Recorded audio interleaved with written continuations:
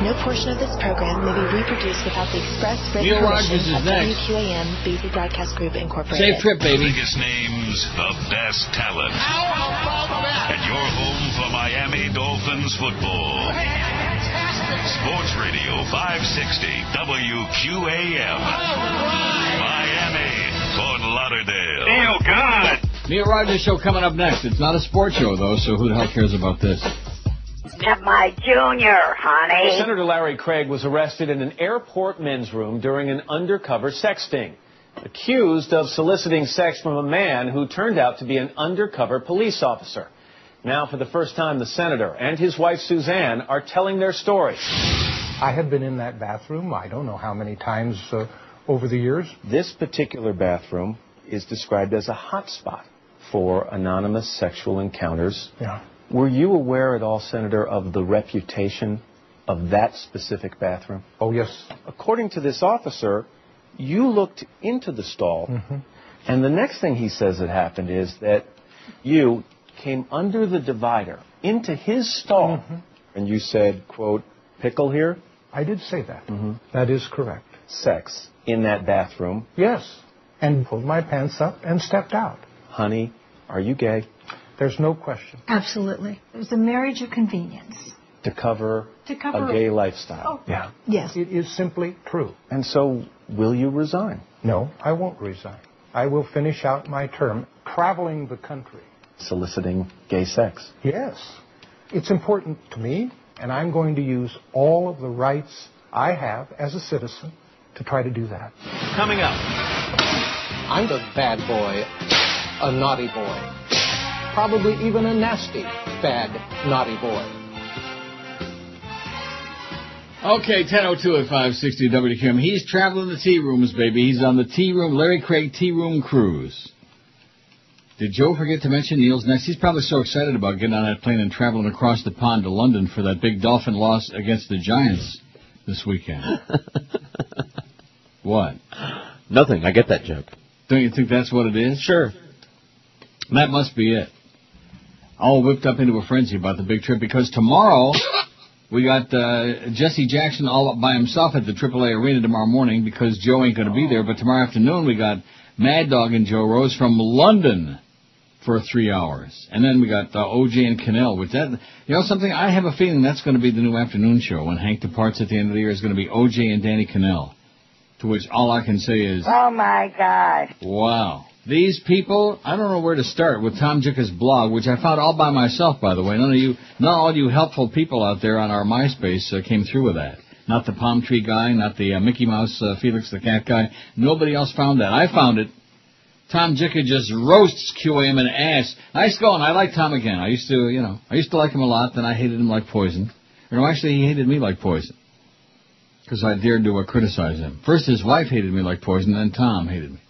But now I like him again because he ripped this place the ass it so richly deserves. But anyway, so a Chicken Neck yesterday, Boca Brian sends along to me a uh, thing. It says, here's the bird's eye uh, lowdown on what's going on with them, meaning the Beasleys. By the way, anybody out there contemplating buying stock in BBGI, Beasley Broadcasting, don't do it because why would you want to buy stock in a company where they don't pay their bills? Wouldn't that be the first indication that these people are a bunch of deadbeats and not a reputable business that you want to like put your life savings in and invest in their uh, skills? Right? Right. Since the start of 07, invoices will stack up for months at a time, says Chickeneck, and only at the urging of my attorney, direct to corporate, they will acquiesce with a couple of checks for two or three old invoices. Then that's it. A Few more months go by, have to call the attorney again. Had the meeting with Joe Bell over the summer. He's kept in touch with me about it. There's obviously nothing he can say or just don't know what to do. I don't know what to tell you, Brian. I don't know what to tell you, Chickeneck. That's probably what he tells him. I don't know what to tell you. That's what Joe always says. I don't know what to tell you. Then there's a copy of a uh, stub from a check. Got this today, made me as happy as a one-legged man in ballet class, says Boca Brian. And there's like three um, invoices for 300 bucks a piece. 900 bucks you got to check. How do you like that? Nice going there, Beasleys. The dates were 814, 821, 828. Well, that's only a couple months ago. he has to he has to have his attorney keep calling corporate over in Naples in order to squeeze a few bucks out of them. This is the kind of company we work for. Audience thinks it's a joke. They think I just make that up. Now, I did get my paycheck yesterday, a day early. Nice going there, Jolly Joe, you fat ass. But that's, uh, you know, I'm, I'm an extraordinary case, I guess.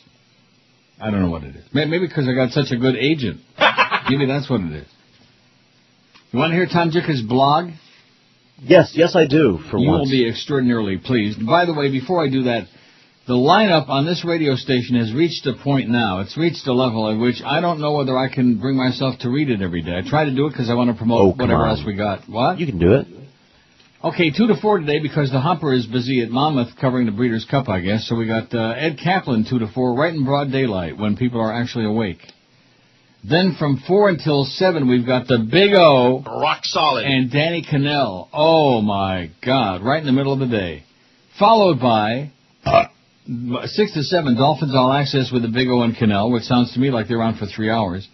Seven to nine, it's Hurricane Hotline at the Rathskeller for the Hurricanes. Then nine to ten, more Dolphins All Access infomercial, the High School Gridiron Report with John Linder and Larry Blustein.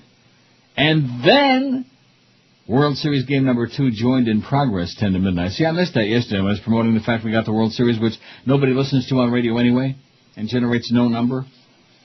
Joined in progress. And that's what's got Tom Jicha whipped up into a frenzy. Pissed off and fired up, little Tommy.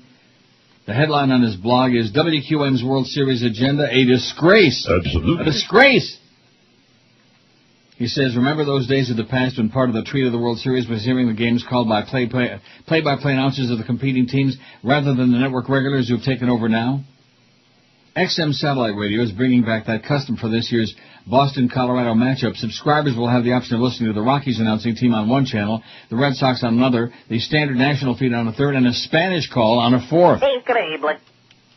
In addition to the diversity, this will be a welcome service for baseball fans in Broward who can't pick up WEFL out of Palm Beach. It'll be the only way they'll be able to hear all of the World Series on radio. WQAM will be joining the World Series games in progress in order to air Dolphins All Access, the unlistenable nightly program that's part of the package the station had to swallow to land the overpriced rights to the games of this winless team. Wow. Can I read that paragraph again? Do I have your permission? Please, please read it twice. WQM will be joining the World Series games in progress, or our Dolphins All Access, the unlistenable nightly program that's part of the package the station had to swallow to land the overpriced rights to the games of the winless team. Oh and seven last time I checked. Oh, oh and seven.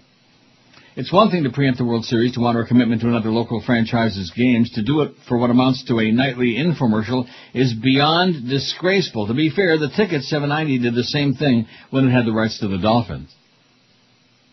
That was before Joel Feinberg got busted for beating up his girlfriend, by the way. What's her name? Susie Penrod?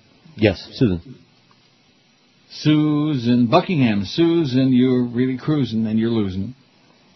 Granted, the Dolphins are still number one in town despite possibly being on their way to an imperfect season, but would fans be underserved by only nine hours a week rather than ten of all access during the World Series? Leaving the talk show about a half hour early Wednesday and Thursday nights is all it would take to present the first two World Series games from the first pitch in their com- co- entirety.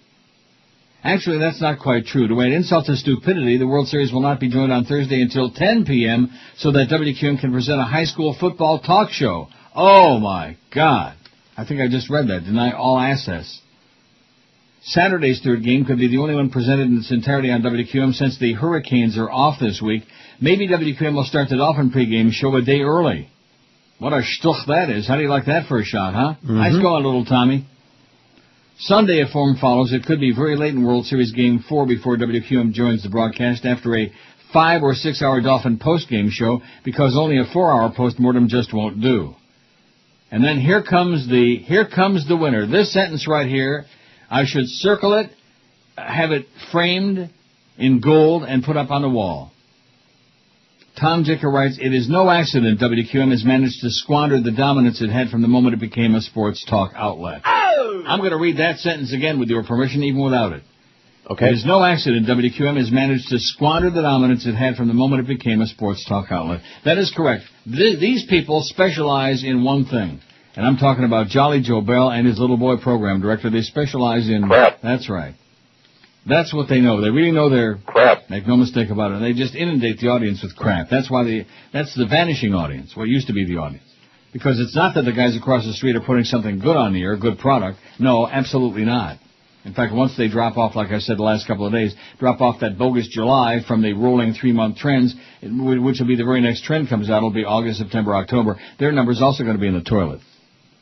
Move over, Tidy Bowl man. Got a lot of company in there, baby. What a what a scathing and very accurate. I, I, I take issue with none of what he said. Although I will say again that World Series on the radio, since all the games are at night now, that gets uh, zero. Oh, nothing.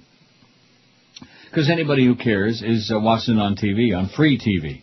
And not only are they watching it on TV, but there's two different telecasts. You're aware of that, aren't you, Chris? Yes. They got the Fox telecast with uh, who's doing it? Uh, Joe Buck. I really couldn't tell you because I really don't care about I think Joe Buck, and then and, and the unctuous Tim McCarver. And then they got the alternate uh, Major League Baseball. I forget what they call it, but uh, Dave O'Brien, that turncoat, is on there with uh, what's his name, Rick Sutcliffe.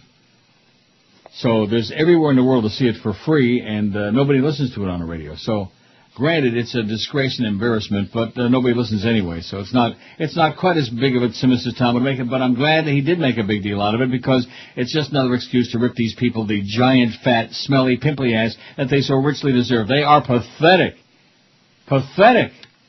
Look at this lineup today, man. Well, who is on the air? I, I'm not going to say it. I didn't want to say it. I mean, Ed- Eddie K's a, he's a lame duck anyway. Eddie's on the way out. They already tried to can him once, and then there was like a rebellion against that from all those gamblers, and Eddie is back, but he's on the way out. They got to find somebody real cheap who'll pay them to work at night, like the Beast. And you know it's going to be the Beast because he's a Clarence's boyfriend, so he'll obviously get the nod. Plus, he's got to make that extra cash to support that baby that he made. Yeah. I, I, He's not I a think baby about yet. that, and it just, I don't know, it just makes me gag. The fact that that creature is reproducing. Not that I don't like him. I mean, he's, you know, he's a likable guy, although he doesn't belong on the air, even to say hello or goodbye. And also a professional troublemaker. We've got several of those around the building. They waddle around. Robert Grieper, remember when Mo was there and he'd co- come in and uh, you know, Sure. diss Mo to us, and they'd go back and diss us to Mo and diss that and uh, the Hey, they're a valuable resource. Yeah. 12 minutes after 10 at 560 WQM. Happy Thursday. It is a Thursday, which means we've got our Neil deal coming up at uh, noon today. No, no, no, no, no, no. Get the honey, Junior.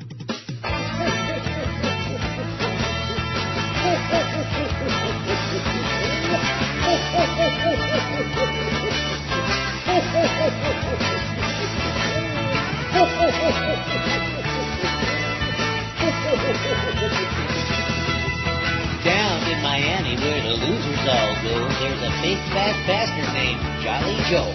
He manages a radio station there, and when it comes to paying bills, Joe don't care. Deadbeat Joe, man, what a radio. Deadbeat, deadbeat, deadbeat Joe, what a show. Oh,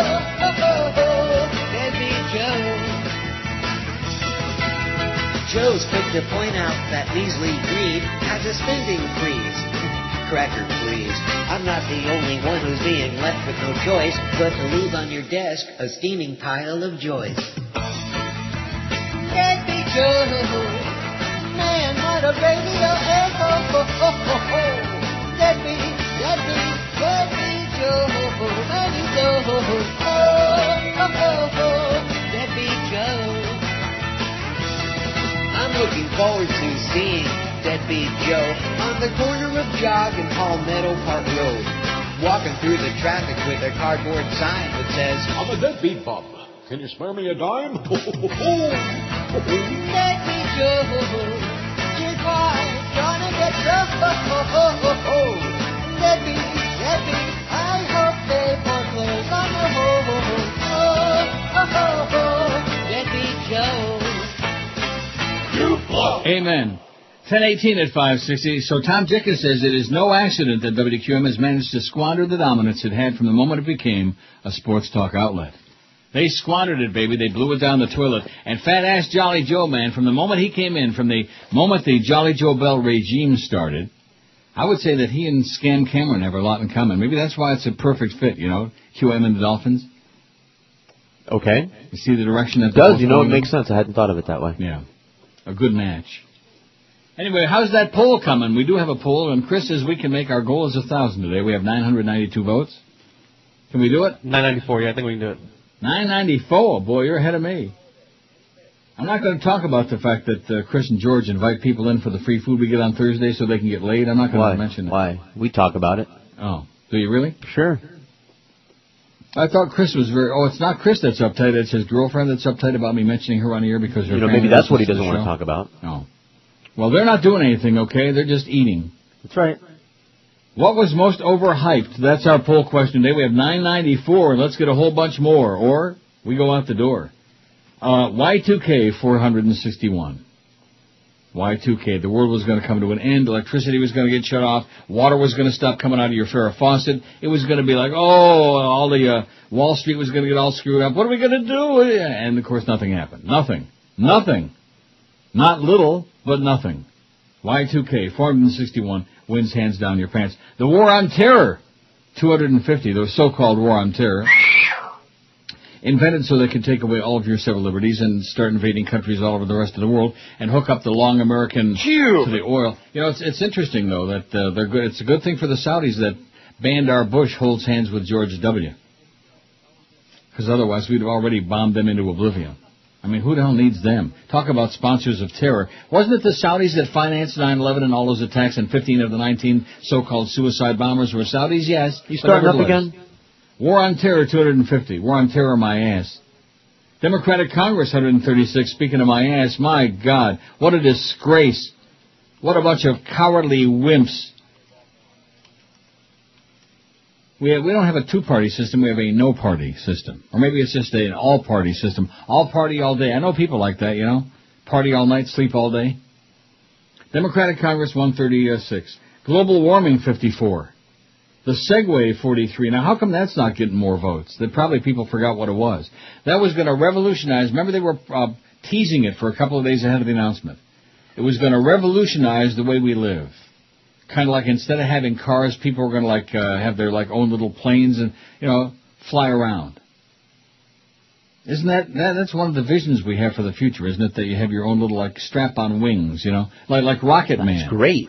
Yeah, that's a good idea. And if you want to go from point A to point B, now that we have GPRS, you know, you can just decide, well, I'm going to fly from here. I'm going to be in Paris in a Mhm. few hours, and just, you know, right? Right.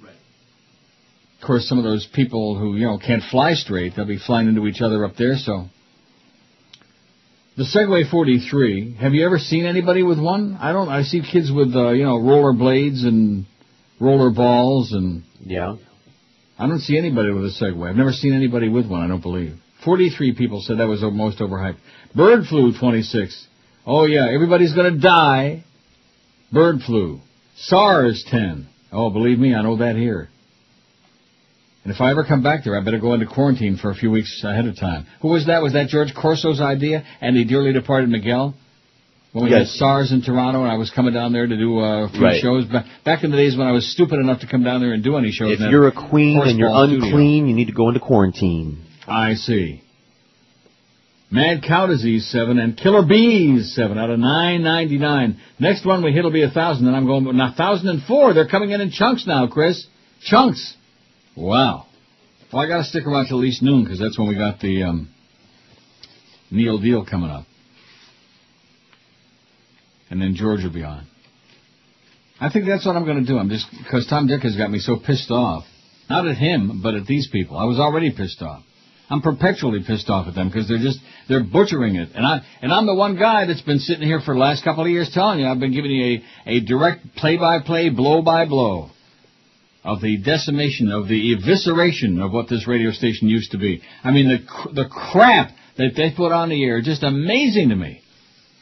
And the stuff that they uh, signed away everybody's life to in order to get the Dolphins back on here to kiss Wayne's bald spot 50 times a day and put that Dolphins all asses infomercial on there, just unconscionable for a team that I wouldn't wish on Hitler and uh, Mancolder. Just, just pathetic. Hey, by the way, Scam Cameron, you're tragic. Oh, don't blame Cam. He's uh, got a lot of issues. yeah, his team blows. According to the FDLE, the "Don't Tase Me, Bro" guy had it coming. Now you've got a really masterful, beautiful uh, thing there. Thank you. You've seen it then. No, I'm talking about that Somebody telling stories? before the show today. Can we hear it? Don't tase me, bro.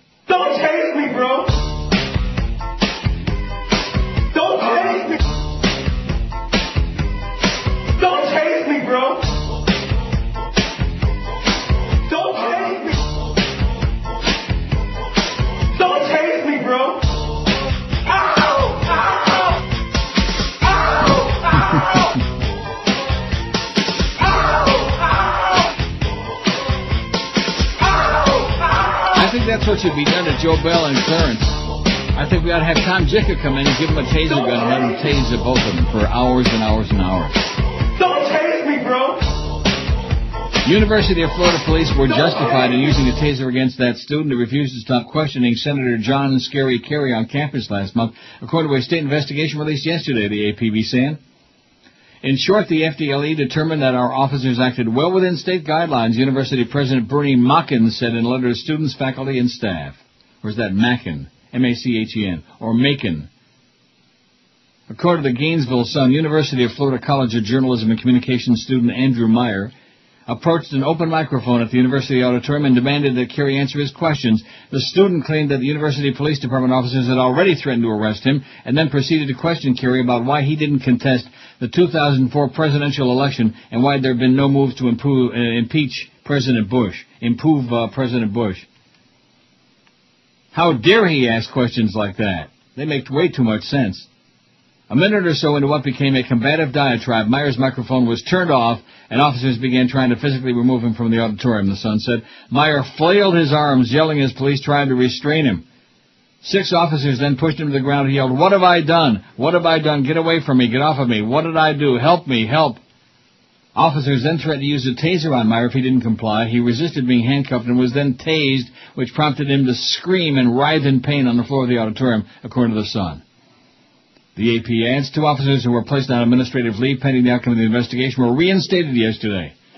Officers decided not to escalate the hard, empty hand strikes, kicks, knees, or baton. It would have looked like the officers were beating Meyer into submission. The report, which has Meyer's name and that other student's blacked out, said the officers did what was necessary to control the student. There were what, only about a hundred of them, and uh, he was about what, six six inches tall. Mm-hmm. Our purpose is and always has been to ensure a civil and safe environment where the many types of campus activities and open discourse can occur, Police Chief Linda Stump said. Linda Stump my ass. Meyer's been charged by police for resisting an officer and disturbing the peace, but state attorney's office has not yet decided whether to file formal charges. Spencer Mann, a spokesman for the state attorney's office, said the decision may be made sometime next week. Biggest names. The best talent. This is Neil Rogers. Sports Radio 560 QAM. The sports leader. 7.7 BBG's killing me. I'm gonna slash my wrist. Breaking sport hole news.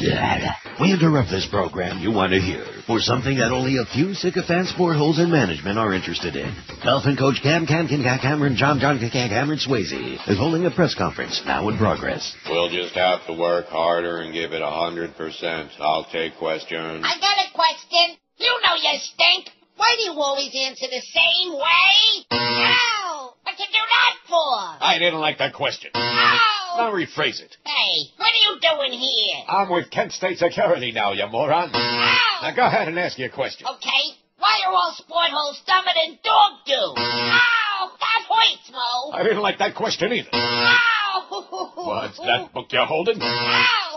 Let me see that. Sport Hole Guide to Fantasy Dating.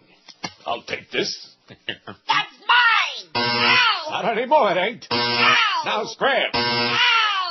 Ow!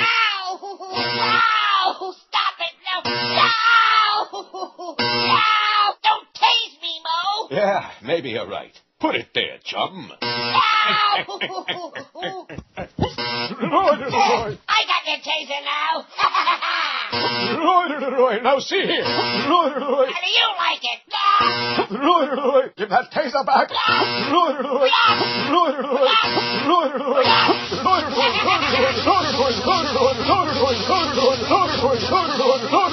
My heart, my heart.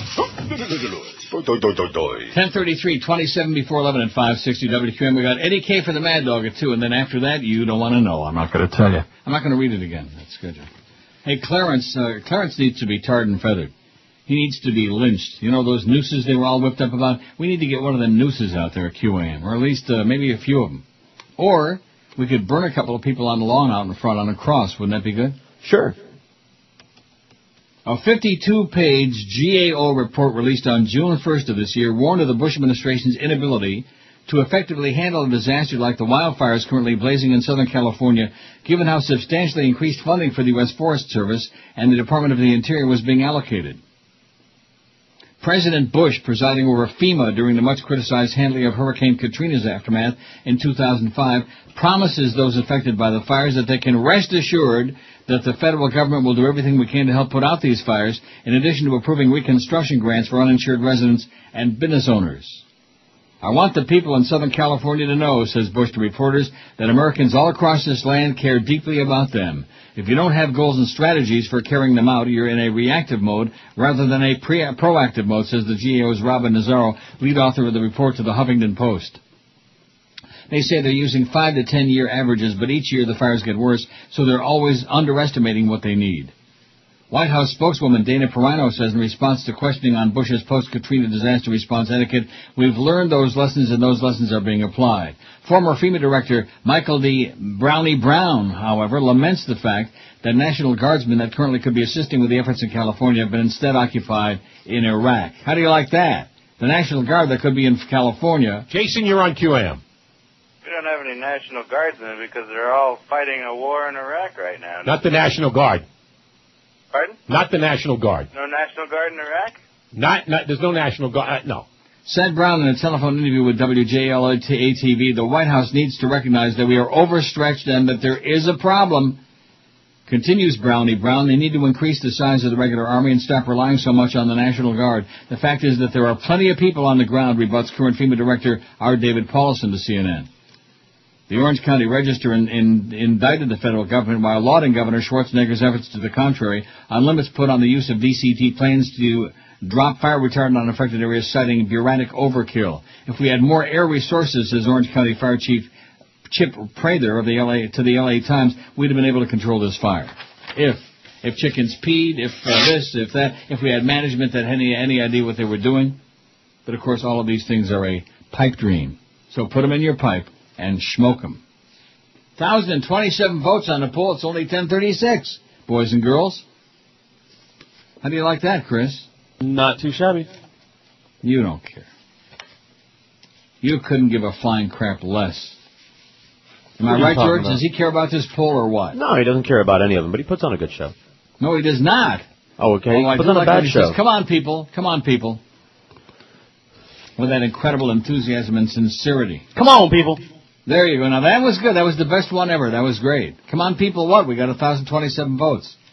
Let's get 14 today. No, no, 14 my ass. That's What less than two an hour, about? two a Let's get 14 today. Stop with the poll crap already. You. It sounds to me like you're mailing it in. Stop mailing in. Leave, leave that to Mifo, okay? Leave that to Mifo. He's the one that mails it in. And lives large. And uses every stupid ass, dumbass cliche that Steve Nickel could ever write down for him. Oh my god, living large my ass. They don't get much Oh, larger. He just. Now, that- now you know that's not true. I don't have a huge ass. Nope, not anymore. Some people in the these building may have a huge ass. Some people on this show do. That was funny. Yeah, that's right. Not too far away from where you're sitting right now, some people might have a big fat ass. No do they have to bring the girlfriend in there to split the food up so they don't like uh, bust the chair. Yeah, my name's not Beast. There's another one with an ass the size. Of, I think like Rhode Island and Delaware are smaller than his ass. funny. There are states smaller than the beast's ass. But he'll be doing uh, one of those shows. Maybe, maybe he'll be doing Hank Spot. Even though they're doing this nationwide uh, search, you know damn well that all this crap they got on now, like the Big O and Danny Kanell. I mean, oh, and what is it with these two-man shows? What is that all about? Remember how Geldy and uh, Mo worked out so well? That worked out really well too, just like the morning show we got now. I mean, uh, Bo and uh, Schmo. Kenny and Bo show. That worked out really good. Another another Joe Bell nightmare. Another invention of Dr. Frankenstein. A man who is wreaking havoc in this place. According to Tom Jicha. What was that line that Tom used? Where is it? He said, Don't tase me, Mo. No, he said, It is no accident WQM has managed to squander the dominance it had from the moment it became a sports talk outlet. Now it's easy for Tom to say that now because with Eddie K leaving, Tom won't be filling in for uh, Eddie K anymore because Eddie K ain't going to be on the station, so Tom won't be on QM anymore. So it's easy for him to, you know, take a shot like that, a really accurate and well-deserved shot, but uh, it grows you a pair of balls when you have nothing to lose. You know what I mean? What do you mean? He already, well, he already knows he's not coming back on a station to like fill in for anybody, so he can like uh, rip them an ass and say, "No wonder they're sucking wind. No wonder." With the kind of leadership they got over there right now, kind of idiots putting swill on here. I mean, just non-stop, morning, noon, and night. Unbelievable. People that shouldn't be allowed anywhere near a microphone, much less to speak into one. And this is what it is, man, the jockocracy. We are carrying it to an extreme, the likes of which has never been seen. Like uh, Tuesday night, look at that, we had Jimmy Syphilis and Joe Bailey. I'd rather have uh, Jack Bailey from Vernon Downs on, or at least he knew where the hell the finish line was. My God, how about that Angus, I mean Angus Allen? Let's start doing a harness racing show. What do you say? Let's do it. Go now. So who do you like better, Harold Fisher or Sandy Fisher? ¿Quién es más macho? Oh, I don't know. I like Wally 20 Henderson. before 11 at 5. Don't start getting involved in stuff you don't know about. Then, we'll, then I'll start throwing curves at you like Harold Snodgrass, okay? Who? And then you're really, that's right. And Tommy Wynn. Does Tom he? Wilburn. When it comes to harness racing names, man, I could sit here and I could just bop, bop, bop, bop, beep, beep, beep, beep. From now until the day they stuck me in a box. For years. Bop, bop, bop, bop, beep, beep, beep. Ray Stein, there you go, there's a guy. More twists and turns in the doggy dispute involving Ellen DeGeneres. The celebrities, the drama, the tears, things are going so terribly wrong right now.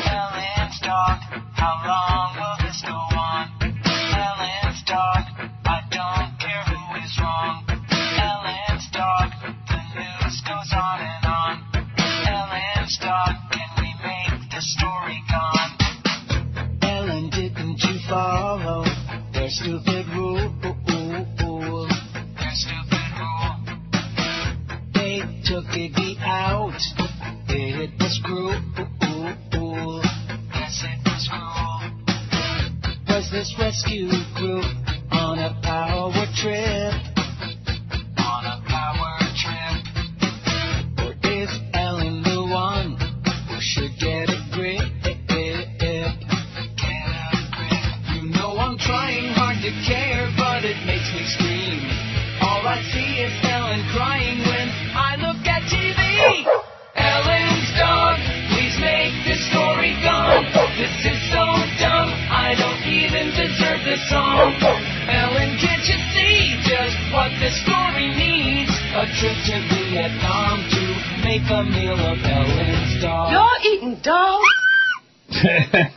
oh no, it's a dog eat dog world. That's what I hear. Whatever that means. I know what it means, but it just. Anyway, it's 1046, 14 before 11 at 560 WQM. Wait till you hear what we have on later today, baby, all the way until the World Series joint in progress. Tom Jicha writes, It is no accident. You know something? I should read the whole article just over and over again. The whole Once an hour. How's that? No, just just over and over, like an endless sure. loop. You know, we got the, uh, you, you know, you reading it already. We could just loop that right now. Okay, so I can go lay down. Yeah, I mean, give Chris, you know, a minute to cue it up. No, I don't want to do that. I don't want to do that. That would be like cheating, you know? Yeah, that would be wrong. That wouldn't No. be right because these people treat us so well. They give so much to this show, man. You have no idea. Well, you do have some idea. You can't complain about what they give to this show because they don't give anything.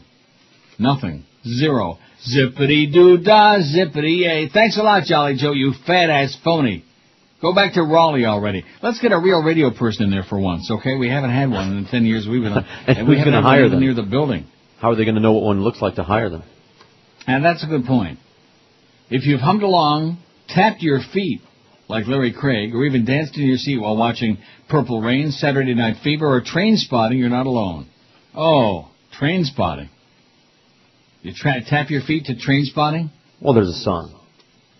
The soundtracks from those movies have been named among the 50 greatest by the editors of Vanity Fair magazine. The full list will be revealed next month in a one-time Condé Nast magazine, Movies Rock, for to uh, subscribers of its 14 titles. Oh, you just sent me a blank page. You faxed me a nice blank page. Try it again. What, what was it about? Poll idea. Ah! God. Purple Rain topped the chart even though it was described as perhaps the best badly acted film ever, editors at Vanity Fair said. While Trainspotting came in at number seven, Saturday Night Fever was eighth. The Vanity Fair editor said the Purple Rain soundtrack was a flawless combination of funk, R&B, pop metal, and even psychedelia into a sound that defined the 80s. A Hard Day's Night came in number two, followed by The Harder They Come, Pulp Fiction, The Graduate, and Superfly. American Graffiti and The Big Chill rounded out the top ten. Then they play One Fine Day by the Chiffons and The Big Chi- Chill. I think they did. One Fine Day. I love that song. That's uh, Boston time in my life, early 60s, 61, 62-ish, when I was still Jewish. Saturday Night Fever soundtrack is required listening for anyone looking to heat up the dance floor, the editor said. The white suit, not so much. Hey, John Revolta, baby. You he was the only problem with that flick. It was John Revolta. See the way I talked that up, and I could Mhm. barely even hear it because you didn't have it cranked up too good. Movies Rock, which will feature stories and photos of the project stars, directors, and musicians who created the selected movies, launches ahead of a two-hour CBS broadcast of the same title in Diciembre. All right, Movies Rock, baby. Tap your feet like Larry Craig. And crawl underneath that uh, stall. Don't stall, do it now. Senator Larry Craig was arrested in an oh, he's the best. He's your typical self-hating fag Republican, baby. Hypocritical, right-wing, finger-pointing, finger-wagging. Wag this. Which was most overhyped? That's our poll question. We got a thousand and fifty-four, fifty-eight. How do you like the way they're coming in in chunks today, huh? Mm-hmm. Most overhyped. Y2K 490. War on Terra, 271. You can't say terror. War on Terra, like in Gone with the Wind. It's the War on Terror. Democratic Congress 145. That was going to really slow down this this fascist train that we have going on. Did it work? No. Is it going to work? No. Nancy Pelosi and Harry Reid, between the two of them, they haven't got the ball of a fruit fly. Global warming 56, the Segway 44, bird flu 28. The birds are coming, baby. The birds. We're going to all die from some nasty evil virus. It's going to be like the Black Plague. Oh, I shouldn't have said that because we got uh, O.J. McDuffie on today, don't we? Oh no, he's not on today. What's wrong? What happened? Oh, that's right, the big O. See, they're they're what they're doing is they're putting all these different matchups together, like the I guess to to figure out the chemistry, to hear how the chemistry sounds between you know like Danny Kanell and the Big O and uh, O.J. McDuffie and uh, Kimba Bokamper and all these other people that don't belong on air. The Segway 44, Bird Flu 28, SARS 10. We have some SARS bits in here, I bet. SARS. Oh yeah. Ladies and gentlemen, we return you now to SARS Search. oh, SARS 10. I did learn to wash my hands a lot though during those days, during those couple of months when everybody was all freaking out here. Mad cow disease 7 and killer bees 7. Look out for the killer bees. Or as they used to say in Rochester, 950 WBBF, the home of the busy bees. As in WBBF. Do you have any idea what that means? I Nope. don't either. Busy beaver. WBBF with Morton Nussbaum. Here's another blank Oh, page. your poor your line fax condition. machine is seeming to have some issues here again, George. Every time I fax it, it says poor line condition. There's no you. there's no problem with line condition because everything else Listen, has come through just This fine. sheet of paper that comes out just says as fine poor as GI line wine. There isn't a condition. damn thing wrong with my machine or any of the Who said there here. was? It's fine. Who Why said there was? This your paper machine is a, that comes out of the machine problem. says poor line condition. So argue with the paper. 1064, baby.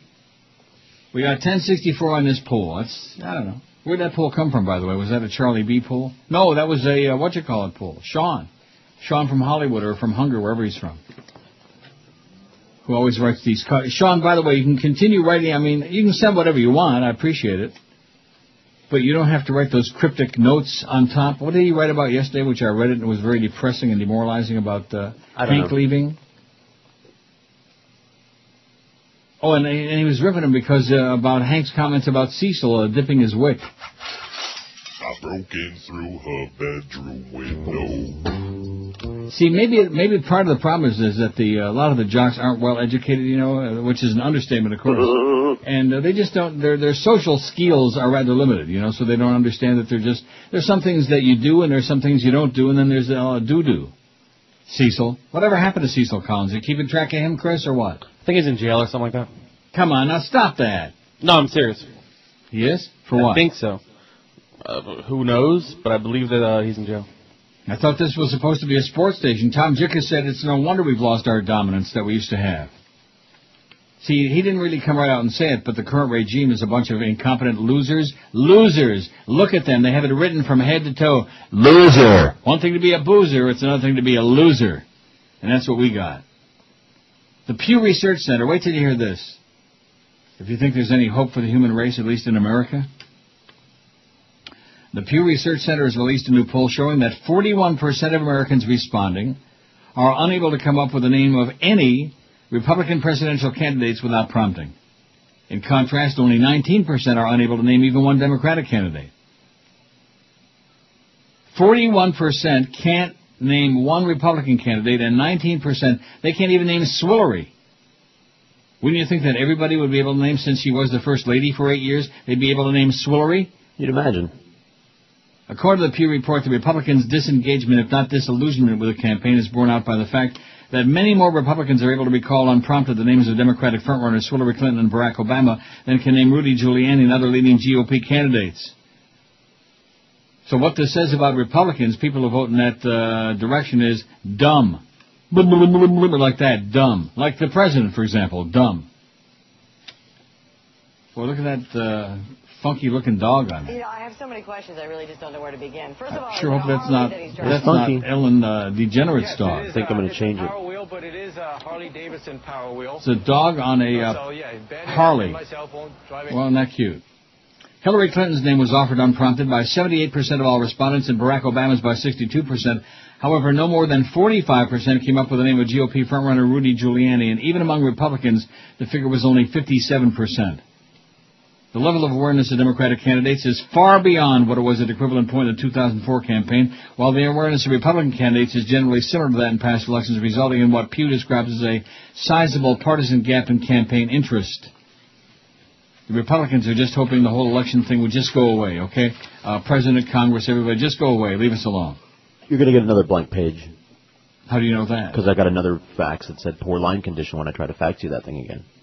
Pew's figures further show that throughout the course of 2007, about half the respondents have indicated they're following news about the candidates either very or fairly closely, roughly the same as for other major news stories. In the past, the level of interest has developed only with the start of the presidential primaries. Despite this, 55% of respondents indicated they were finding the presidential campaign dull, and 66% said elections were too long, while only 41% considered the press is doing a good or excellent job of covering the campaign. And by the way, Stephen Colbert has already moved ahead of, uh, uh, what's his name? The midget. What's his name? Dennis Kucinich. Oh. And Chris Dodd. And Bill Richardson. He's already got the, you know, it's a joke. It's a joke, folks. Uh-huh. Who was talking about that last night? Brian Williams? Somebody was talking about it. It's a joke. When asked what particular areas they would like to see better covered by the press, the greater, the greatest number, 77% asked for more about the candidate's position on issues. But what about John Edwards' haircut? Isn't that what's important? And Mhm. Swillery's boobies? By a small margin of 45 to 42% respondents indicated they would actually like less news on who's leading in the latest polls. They don't want to, they don't want to. They want to hear about it, they want to know from it, they want to smell it. Because they know it's all a bunch of crooks, a bunch of people that talk, ba ba ba ba ba, they talk a lot of crap, and it's all a bunch of crooks. And if any of them don't want to be crooks, well, they make them and their family an offer they can't refuse. And all of a sudden, it's like, uh, like with Al Gore there, you know? He knew the election was rigged, that it was fixed in 2000. He gets up there and he gavels down every, shut up! Shut up! Yep. Tipper and I and uh, the kids want to live, you know? We want to live. Who was in that movie, I Want to Live? It was uh, some very famous actress. Don't know if I saw About, it. about some old bag on death row in Texas. You never saw I Want to Live? I might have. I'm going to Google it during the break, and I'll tell you. Yeah, you might want to see it. I doubt it. I It's doubt an it. black. It's black and white. Yeah, boring. All black and white movies are boring. I, huh? did, I didn't say that.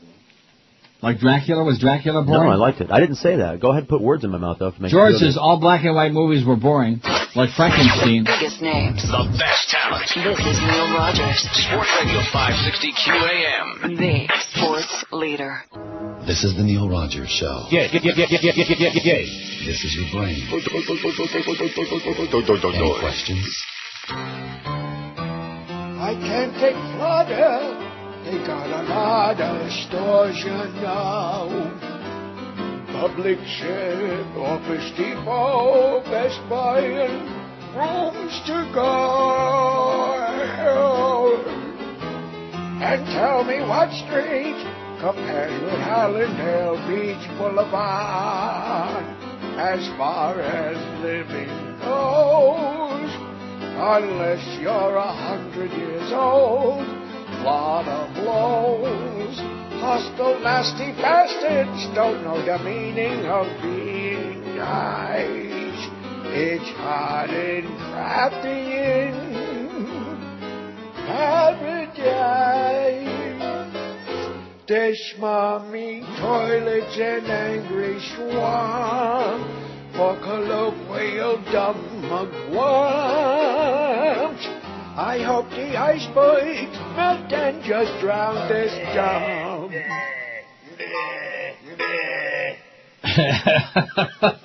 oh, there it is. That's the sound of South Florida. Anybody visiting South Florida right now for the first time? That's uh, the greeting from the residents. In other words, uh, your mama. 1103 at 560 WQAM. Doug Thompson has a column today that might be a little bit more interesting, although it's depressing, but a little more interesting than the one about uh, that uh, Shenandoah Valley or whatever that crap was. Okay. Well, he's obsessed with that because that's where he lives, and uh, we don't care about it. At least I don't. Do you? Nope. Doug Thompson writes America's Lost Soul. America, a once great nation founded on a notion of freedom, has lost its way, he says. America is a country without a soul, controlled by leaders without conscience, fueled by political agendas without honesty, and dominated by issues without purpose. Issues without purpose. Uh. Some say the loss of soul began in 2003 when we invaded a sovereign nation without reason, using rationalizations based on lies, promoting a fear based on political expediency. But America has been losing its grip on reality for many, many years. America is a victim of its own paranoia, driven by an outdated belief in a superiority that doesn't exist. That egotistical belief that our way of life is the only cure for the world's ills has led us to become a nation that attempts to export a vision of democracy that no longer exists within our own borders, to believe that our own narrow view of the world must control other peoples and other governments, and that we and only we can develop, own, and use weapons that can destroy the planet. We decry terrorism, yet we export terrorism to other countries. Our soldiers maim, kill, and torture. When we run out of soldiers, our government hires mercenaries to continue our dirty work and claim all this mayhem is necessary in the name of freedom. Whose freedom? Our own? We began losing our freedoms years ago, and that loss accelerated as the smoke swirled around the remains of the World Trade Center and the gaping hole in the side of the Pentagon. While we attached Chinese-made American flags to our car windows, our leaders deposited the Constitution into a shredder. U.S. goon squads operating under the Germanic-sounding name of the Homeland Security rounded up Americans and shipped them off to foreign countries to be tortured and denied the rights that once belonged to each and every citizen of this country. A mentally unstable president used paranoia and fear to gain unprecedented power and bring this nation to the brink of dictatorship. An effort by voters to restore some checks and balances to the system fell short when Democrats reneged on their promises and put political expediency above the will of the American people. The billions upon billions spent in Iraq devastated the economy back home, and we face an increasingly uncertain future. As we head into the 2008 presidential election season, both political parties appear destined to nominate candidates who support the status quo and offer no real return to our forefathers' dream of a government of, by, or for the people. Historians argue that America's democratic republic was always more theory than reality. Those who founded this nation did so with the premise that only white male landowners could truly be free. Blacks were slaves and women existed only to serve men. From the beginning, our elected officials came from the ranks of the wealthy and privileged. They thought elected office should be public service, not a career. Today, those who aren't rich when they come to Washington usually find wealth either in office or by cashing in when they finish their so-called public service. They answer not to the people but to the special interest groups with large political action committees. So what's the answer? I don't have one. I wish I did. I've worked around the American governmental system for more than 40 years. I've covered it as a journalist and worked within the political system for nearly a decade. I've served my country. As a young reporter writing about the fall of Richard Nixon, I thought America had sunk as low as it could go. I was wrong. The sinkhole deepened. It's kind of like QAM. The sinkhole deepens and more simple American values disappeared into it long ago. Too many Americans gave up too long ago on demanding honesty, accountability, or solid performances from our leaders. We judge them not individually, but in relation to other leaders, and we forgive their failings if the other side is worse, and the other side is always worse in a partisan political system. We can't reverse the downward slide of America through partisan politics. Both parties, in my opinion, are corrupt. Neither represents the interests of the American people nor gives a rat's ass about the nation they claim to serve. Independent voices on both sides of the political divide can't succeed because party leaders insist on lockstep compliance with predetermined issues driven by special interest money and political agendas. It may be time to start over to rethink this grand but failed experiment called America. Democracy, Winston Churchill once said, is the worst form of government imaginable except for all other forms. Churchill may have been right. It would be easier to judge if democracy actually existed in a place called the U.S., eh? Told you it was depressing, but he's got his thumb right back on Mhm. it again, Doug Thompson. He got his thumb out of the Shenandoah Valley.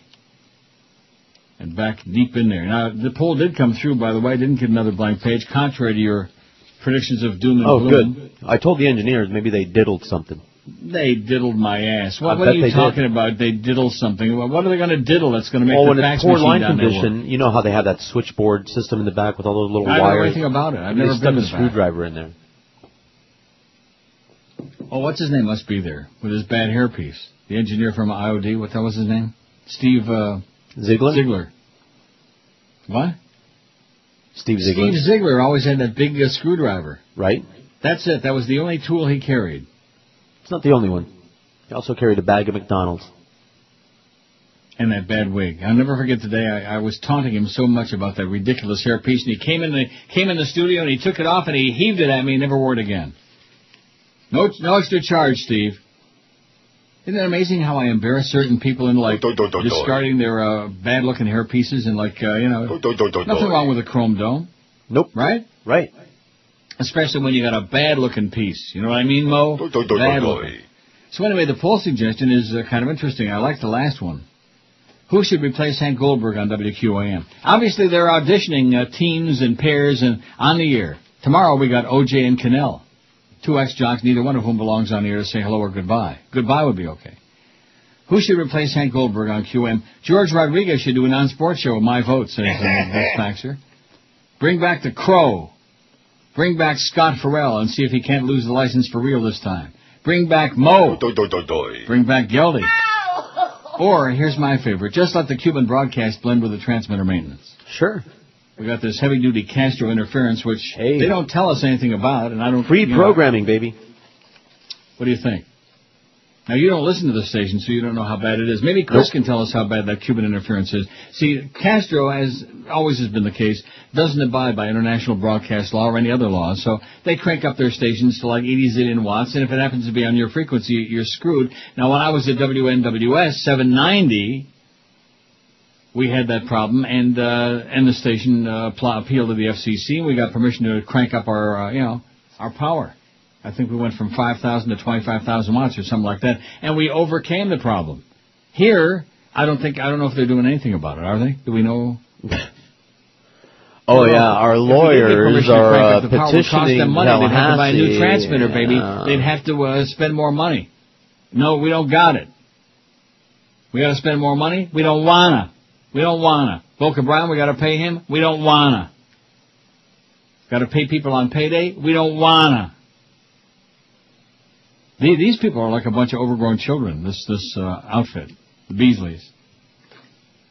As long as I live, I'll never forget that lunch, that really marginal lunch with Jolly Joe and Norma Kent and Bruce Beasley. And at the end of our lunch, Bruce Beasley looks me. At First, he starts out by telling me that they, ever since they've done the all sports format on this station, they've lost money every year. Oh, every year. so let's keep doing that. Right. And he looked me straight in the eye and he said, "We're going to have the best damn sports station in the market. Period. That's all there is to it." And continue losing money, of course, but nevertheless. That's like saying that selling selling open-toed shoes in Alaska is not a moneymaker. But we're going And to you open it. up a shoe store and that's all you sell. It's like Birkenstocks, you know. Like a, I think it's Charles Bronson would refer to it as a death wish. Isn't that what we have at QM, a death wish? That's what Tom Jicha said. He said, no wonder they're losing their ass over there against a slime ball like Joel Feinberg who beats up his girlfriend because he had a bad day at the track. What a, oh, brother. 1107 votes on there. Now, what did Chris say? We're going to get 8,000 today? Where our goal is think so. 8,000. Let's go for it. Let's not set these low goals anymore, okay? Let's set goals really high. In fact, today at noon when we have those uh, meal deal deals, a hundred of them today. Let's sell those out in like the first minute and get it over with. I don't want. I don't want to be sitting here whining. Man, nah, we got 40 left. Nah, I don't want to do that again. I hate that. It's demeaning. It's uh, grotesque. You know what I mean by that? No. What do you mean? You feel unclean sitting here doing that. Well, you had the situation with Gatsby's, which I I'm just shocked by that because everybody knows Gatsby's. It's Sure, they're everywhere. They're all over town. Took us two days. Took you two days to sell them out, so I don't feel so bad about the previous week when I, although, and especially after getting that one email this morning Biggest names. about that one place. I'm not going to go anywhere on the air because Duff would mix up. The sports leader. Meridians, dumb as dirt. Ladies and gentlemen, if I could offer only one tip for the future, act strange and people will leave you alone. The rest of my advice has no basis more reliable than my own meandering experience. Put a slinky around your neck and try to walk downstairs backwards head first. Sit naked in a large bowl of Rice Krispies and sing feelings while the kernels go snap, crackle, and pop. Go up to a ticket booth and try to stick your head through the hole where they say how much. Lick a stranger. Tell them you're from Bosnia and you're a country, it's a sign of respect. Take lots of pills. One of them might work. Occasionally ask a stranger if they've heard anything from Lewis. Be annoying. During an IRS audit, staple the guy's hand to his desk. Moon a funeral. Play go fetch with a seeing eye dog while he's working. Run naked through a mall yelling, Killer bees! Killer bees! Say the word titty without smiling. Try to figure out who said Pauly Shore should star in movies. Don't be surprised if it's the same guy who said John Gacy should work with kids. Ask an old lady if you can carry her groceries and try to make a run for it. Disappear for great lengths of time. Try to touch your forehead with your tongue. It may not work, but many women will appreciate the effort. At a high school reunion, tell your old English teacher that your dog's still eating your homework. Ask Mark McGwire if he'll take a million dollars for one of his balls. Try to find the secret to Carrot Top's success. Understand your conception was an accident, that your parents got wasted and wanted a few more laughs before they passed out. Try not to lose your finger in your nose. Take up Bob Costas and toss him on the lawn next door.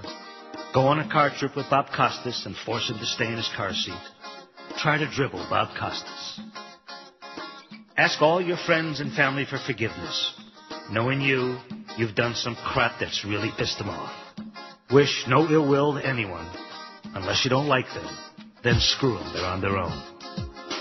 Realize anyone who says they're completely happy are completely full of crap. Ask a Hell's Angel if he's a woman, or has he always walked like that? Understand that there are bad people in the world, and you may just be one of them. Sniff an old lady. Imagine Gomer Pyle in a gay bar trying to get lucky. Do this without laughing. Find what's left of your innocence. Understand it, embrace it, protect it, and every so often, take it out for a nice nosh. Care enough not to care. Hum while you eat. Act strange, and people will leave you alone. 1119 at 560. Killer bees! Killer bees! By the way, Yes? killer steak. Oh, yeah. Oh, you got your food now. That, that shows my psychic powers are really kicking in big time because I was just on the verge of asking you what time is the food showing up Oh, it showed up like five minutes ago. from right, Jake's right Bar. before that break. Yep. Thickest New York strip you ever saw. Hmm. Baby back ribs, really excellent potatoes, mushroom gravy. You'd love it. Wow. Asparagus. They got some meatloaf over. You over trying here. to make me feel bad? I do. No, no. Yes, you are. I am not. I'm trying to make you feel Pig. good. Cow. Moo cow. Well, that's good. So at noon, 40 minutes from now, we'll put those certificates on sale. And they better go really fast because it's good chow, baby. It's great stuff. Mm-hmm. Cenk, Cenk uh, Uygur, I better pronounce his name right because uh, 50 different people told me how to pronounce it. Cenk Uygur writes some really great stuff. In The Smirking Chimp, The Gay Dilemma of Barack Obama, he writes today. Barack Obama has invited gospel music superstar Donnie McClurkin to perform with him this weekend in South Carolina because he needs the votes of black religious folks in that state. Donnie McClurkin claims homosexuality is a choice, and if you come to him and presumably tap your feet three times, he'll help you get over and under this sin. McClurkin says he was gay for 20 years, but he's cured himself. Sure, of course no one in their right mind believes him, but the problem is religious people are not in their right mind, so what is a politician to do? oh, what a great line. But of course religious people are not in their right mind. Amen, hallelujah! You can't turn your back on religious voters, there are too many of them, and you can't accept their ridiculous assertions. So politicians like Obama get caught between a rock and a hard place. There is no good answer until this country grows up and stops believing in fairy tales. You fairy.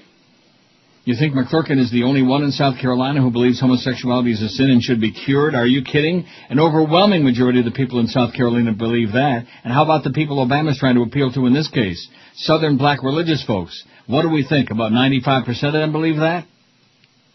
You know why they believe that? Because it's in the Bible. They're right. I'm not being facetious. It's right in the Bible. A man shall not lie with another man. It's abomination to God. Now, of course, what most people won't tell you because they're scared to death of being un-PC about this is that the Bible is full of Schmidt. It also says you can sell people off to slavery as long as they're not Israelites. Eating shrimp is also an abomination to God. God is one finicky dude. There are dozens of offenses that get you stoned to death in the Bible, including cursing at your parents, mixing the wrong type of cloths or plants, and adultery, George. Oh yeah, adultery. How come no one's going on a national campaign to pass a constitutional amendment against that? Oh, that's right. A lot of straight Americans do that, so they'd like to ignore that part of the Bible. Look, I know the right wing abuses abuses the Bible for their own seedy purposes. They selectively quote the Bible and leave out whole chunks of it, including the many positive verses about helping the poor and your fellow man. They emphasize the things that divide us and are full of hate. That being said, read the Bible. It's not a pretty book. It's full of outrages, injustices, violence, mayhem, and pure utter nonsensical crap. Now which politician can say that? None. So what's Barack Obama supposed to do? Tell religious people to go fig off or sing along with a clueless gay guy who's pretending to be straight? I don't know. If he wants to win, he can't ignore the religious constituency. If he wants to be a decent human being, he can't go along with people who are ignorant and hurt others by arguing in favor of discrimination. My personal answer is, don't become a politician. My global answer is, get beyond this ridiculous voodoo we call organized religion. But for the moment, it's hard to blame Obama for trying to toe the line, putting everyone on the same stage, including a gay pastor he's conveniently found now, pretending to be a uniter and hoping for the best. Bottom line is, this isn't Obama's problem, it's the country's problem. He's good, Cenk Uygur. He writes some uh, good crap. Everything you read so far. Everything I've read so far is right. Well, spot on, baby. Spot on, isn't spot on your tie. So what else you eating? You got a big juicy steak and what else? And ribs? Ribs, chicken, Like they say in that Ron Popeil infomercial, baby back ribs. Blah, blah, blah, blah. Sounds like, uh, what's his name? From the It's morning. mahi show. mahi encrusted Kenny, with uh, something. You got mahi mahi? Mahi, Macadamia nut encrusted mahi mahi. Mm. What is that meatloaf thing? The uh, bacon wrapped. I yeah, bacon wrapped meatloaf. Oh my! Oh my! Look at that poll. Chris is on top of it, baby. We're going to get 40,000 votes on it today. And my fax machine is cranking up, meaning you just sent me something and maybe it's not going to be a blank page. Maybe, maybe not. 1,126 votes on our poll today, boy. That's pretty heavy duty. That's a really good sign of something. I don't know what. Oh, look at this. It actually came out. Oh, here's the menu from Jake's. Oh, and something I, I knew it was going to be something good. Grilled gazpacho with grill, or chilled gazpacho with grilled shrimp, Caribbean pumpkin soup, just in time for Halloween, no less. Ahi pokey, Asian spices. You ever get an ahi pokey? No. Pan roasted crab cakes, barbecued basil basil shrimp. Is that basil or basil rathbone? Shiitake mushroom pizzette. Mmm.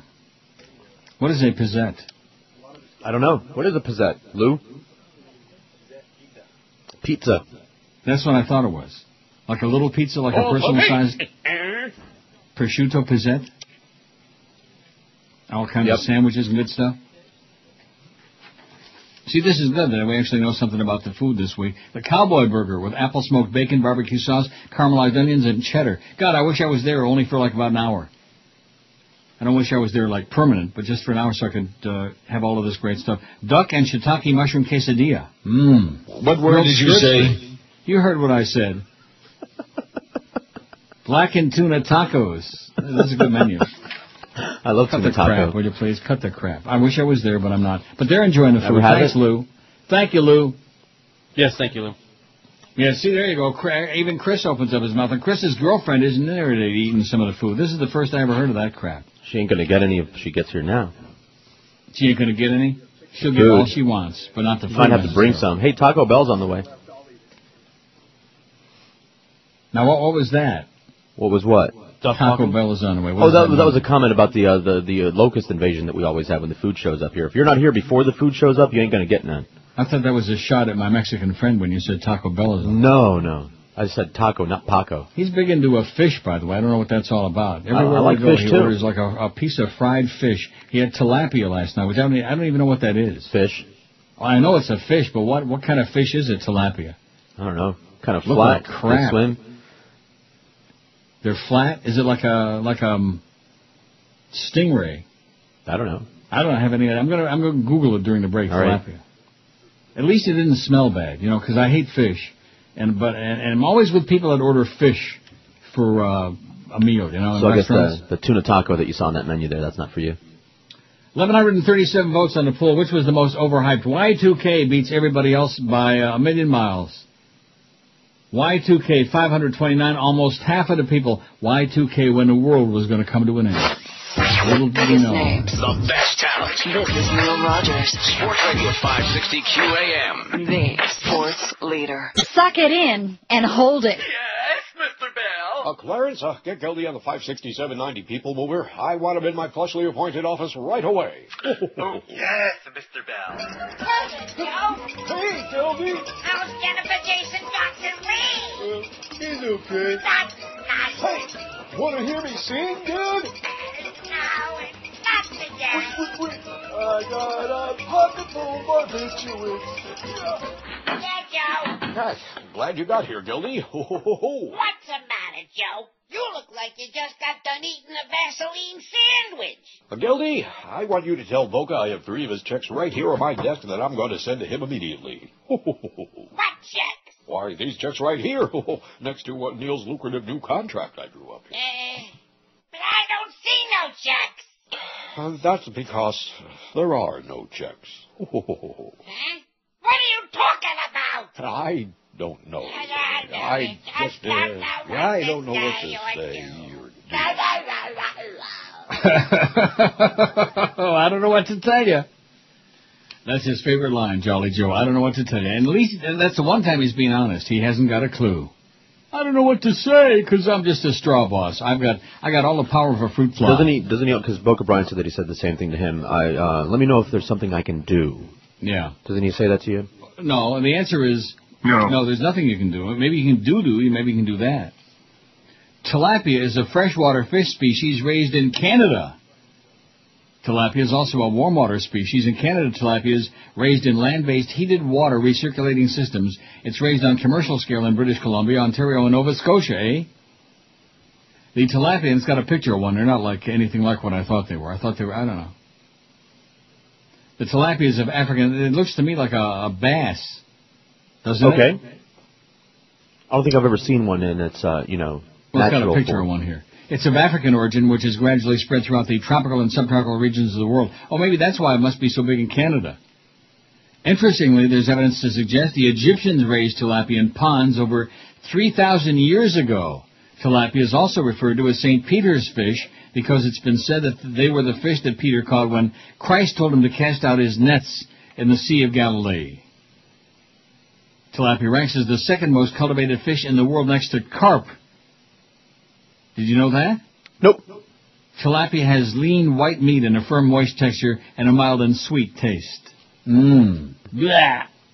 Yeah, well. Tilapia agriculture in Canada originated in Ontario when the provincial government granted approval for commercial production in 1995. Their high growth, hardiness, low cost plant protein based diets and a strong market potential make tilapia an attractive agricultural species. Toronto is widely recognized to be the single largest market for live tilapia in North America. How do you like that, eh? We may have a really crappy hockey team, but we got a really good uh, fish. Tilapia agriculture is practiced throughout the U.S., Central America, and the Caribbean, South America, Asia, and Africa. China is the leading global producer of tilapia. Oh, brother, don't eat nothing from China. Real fat. I think you've been led down the garden path.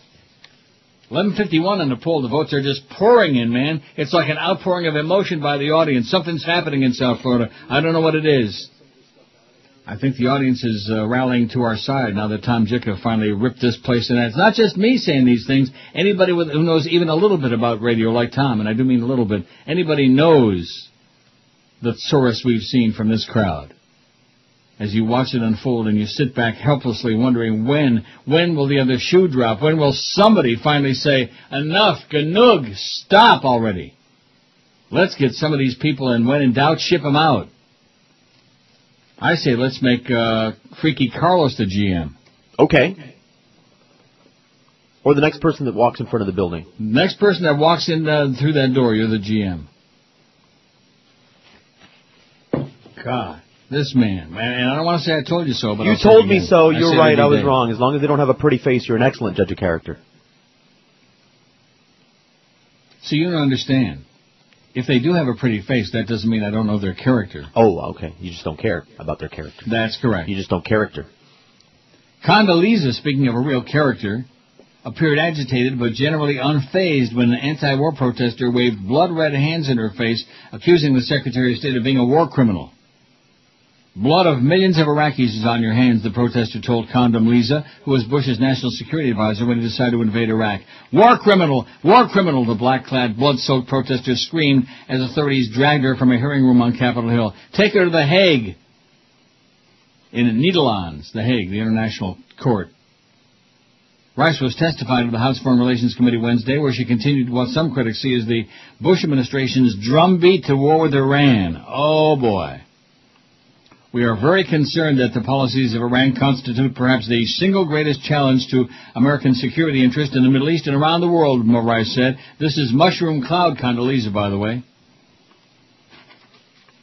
Although video of Wednesday's hearing shows only one protester getting in Rice's face, Capitol Police quickly removed several members of the anti-war group Code Pink, who appeared to have caused no disturbance.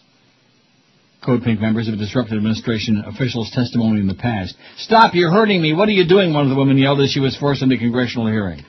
Don't tase me, Mo. Don't, don't, don't, don't. tase me, bro. Right. 1156 on the poll, man. Every time that thing changes, they're not coming in by the ones, but the votes are coming in by chunks, like from Opa-locka and Akalusa and all over the place. And oh, Lake Okeechobee. What a Yahoo state, man. What a Yahoo mugwump place. Oh my God. You drive around Florida, then you really understand what mugwump is all about. Like up to two egg. Oh. Now Panama City, they got those beautiful beaches. And they got all those born again bigots, you know, all those little, all those punks. Brainwashed punks. They're brainwashed with the religious crap, which is, means they hate everybody who ain't like them. But in the meantime, they're out there on the beach screwing their brains out. They're screwing their brains for Jesus. That must be what that's all about, right? Works for me. Don't you start with your perverted lifestyle with us, okay? Don't don't try to pass off your perverted heterosexual lifestyle on the audience. Let me pass off my perverted homosexual lifestyle. Homosexual agenda. Yeah, that's right. 1158 vote. Most overhyped. Y2K 535. 46%. War on Terror. 301. Democratic Congress 154. Gornish Telfin. Global Warming 51. 61. The Segway 48.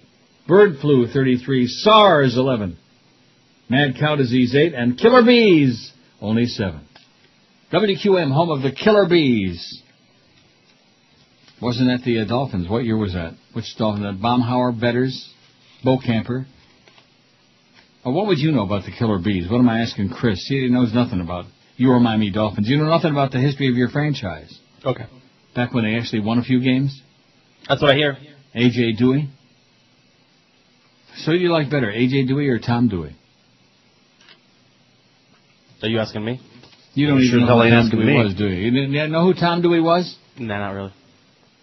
former governor of New York with a mustache who lost to FDR in 44 and who everybody thought was going to beat Truman in 48 and the big headline in the Chicago newspaper said uh, Dewey defeats Truman. Dewey de- beats Truman. And when the late vote came in, uh, came in there, good old Harry, give him hell Harry, he won. You know Harry that dropped the bombs on the Japs? that dropped the nukes. I guess we can say one thing about Harry Truman. He's the only American president. He's the only president of any country, the only leader of any country that dropped nuclear weapons on another one. Am I right about that or what? Although we haven't seen the end of this current crew yet. That's right. The biggest names. The best talent. This is Neil Rogers, Sports Radio 560 QAM. the sports leader. Neil God. Hello, I'm right-wing political pundit Ann Coulter. When I get home after a busy day spent bashing Jews, liberals, gays, Hillary Clinton, 9-11 widows, Democrats, illegal immigrants, little sick kids, Mother Teresa, Captain Kangaroo, baseball, and old people, I need to relax. So I have a glass of wine and open a bottle of Bitch Be Gone.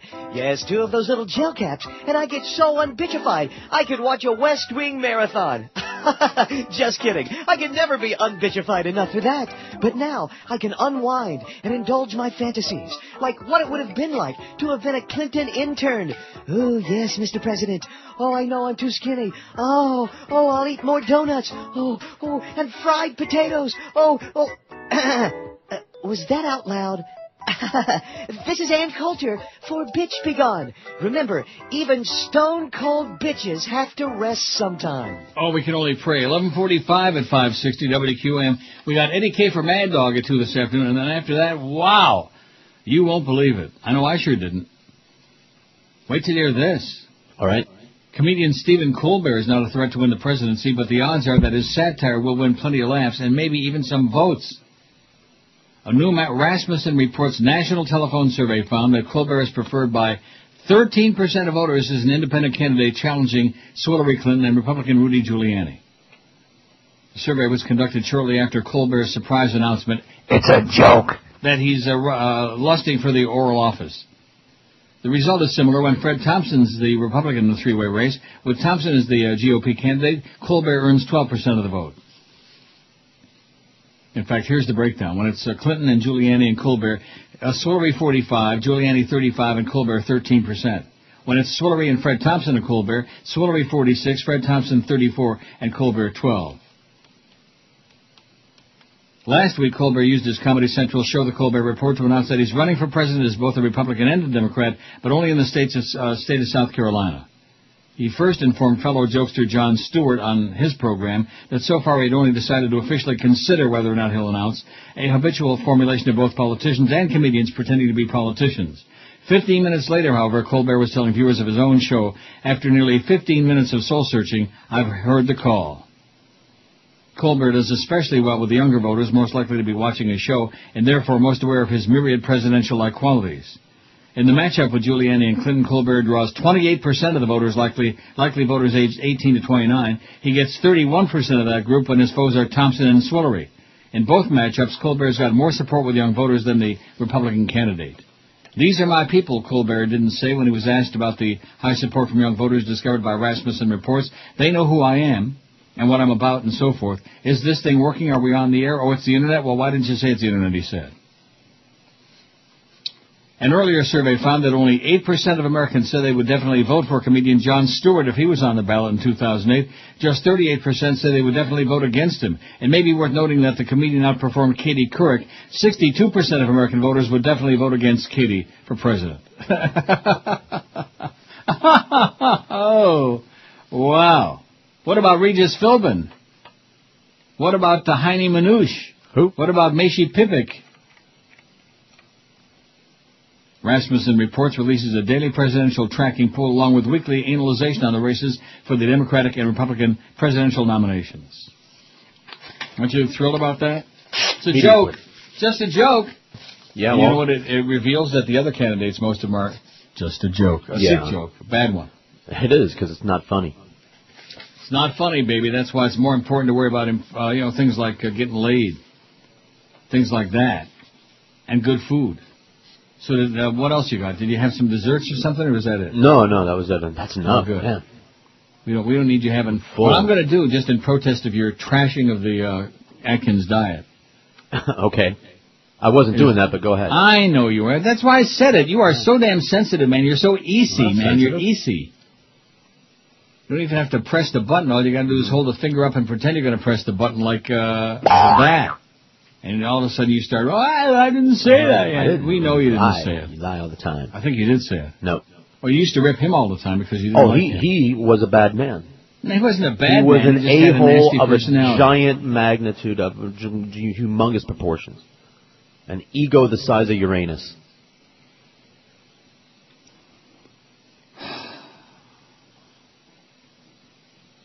Well, at least uh, Randy didn't uh, do And- what Bob Atkins and I'm glad he's dead. She just fell down. You're glad he's dead? I'm glad he's dead. I'm gonna go Dr. dance on Bob, his grave. I'm gonna go. personally autographed one of those books for me and said thanks for everything you do. I'm gonna go at least eat a he was, big at bowl least he of showed a little bit of gratitude toward me for helping him sell eight million Atkins books. The Atkins diet works, and if you stay with it for like two or three days, you get rid of your uh, sugar cravings too. I can't stay with it for one day though anymore. That's my problem. Ask me if I stayed with it yesterday. Did you No. stay with it yesterday? No. No. I had tiramisu for dessert. And ordinarily I don't get desserts in restaurants, but uh, my buddy, uh, for whatever reason, you want to try the desserts? Yeah, yeah, okay. See, that's all I need is a little encouragement. Mm-hmm. Good. I got the tiramisu, which is not not that big of a deal. But then I also had what else did I have? I went and got something. Oh yeah, an ice cream bar. Mmm, caramel uh, crunch ice cream bar. You know, it's a damn it's a damn good thing that Ben and Jerry's has gone downhill so bad, or I'd really be in. I'm, I'm already in bad shape, but I re- really would be bad. I decided this morning I want to lose like 20 pounds on Atkins. I would be lovely. And the guy out there that's worried about my wardrobe, that jackass, he'd be pleased to know that I was coerced into dressing up to the hilt. I mean, I put on a new shirt, a new pair of pantaloons, and a new black belt, and a sport jacket, and socks. How do you like that? I like it. I've got those new non-elastic top socks, you know, that uh, don't uh, leave uh, your ankles, you know what I'm saying, don't cut off your circulation. Yeah, good. Dressed up like a real mensch there last night for a good meal. Jack Cafferty says Bush is putting the poor out in the cold to fund the war. And he happens to be. Absolutely correct, sir. What are you faxing me here? Oh, look at this. Before we get to Jack Cafferty, this always takes precedence on this show. Child molesting priests. Because a lot of you fools out there continue putting your children in the hands of child molesters, pedophiles. Because the church told you it's a good idea.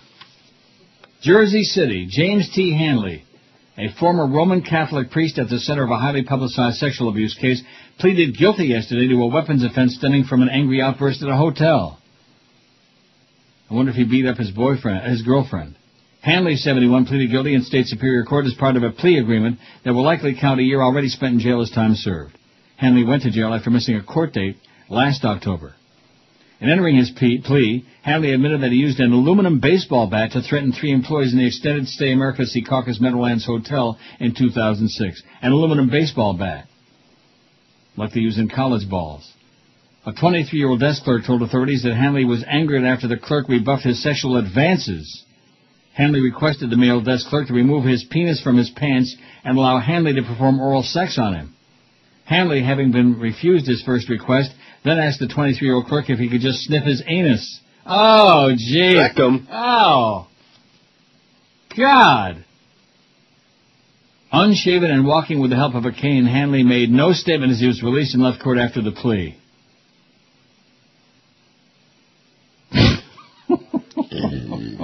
Hey, father! Hanley was removed from the priesthood in 2002, 17 years after church officials learned of complaints against him. More than two dozen men who said they were abused by Hanley sued the Paterson Roman Catholic Diocese and agreed to $5 million settlement in 2005. They claimed that church officials, including former Bishop Frank Rodimer, failed to take action to protect the youths. Hanley wasn't sued because he cooperated with the plaintiffs, providing a statement detailing sexual acts he engaged in with about 20 of the boys. The statement also said he admitted to Rodimer in 1984 that he had molested about a dozen boys. Cheaper by the dozen. I wonder if it was a baker's dozen. Oh, I'm just weak. I'm going to read that one paragraph again. Do it. A 23-year-old desk clerk told authorities that Hanley was angered after the clerk rebuffed his sexual advances. Hanley requested the male desk clerk to remove his penis from his pants and allow Hanley to perform oral sex on him. Hanley, having been refused his first request, then asked the 23-year-old clerk if he could just sniff his anus. Ah! I just want to die. Oh.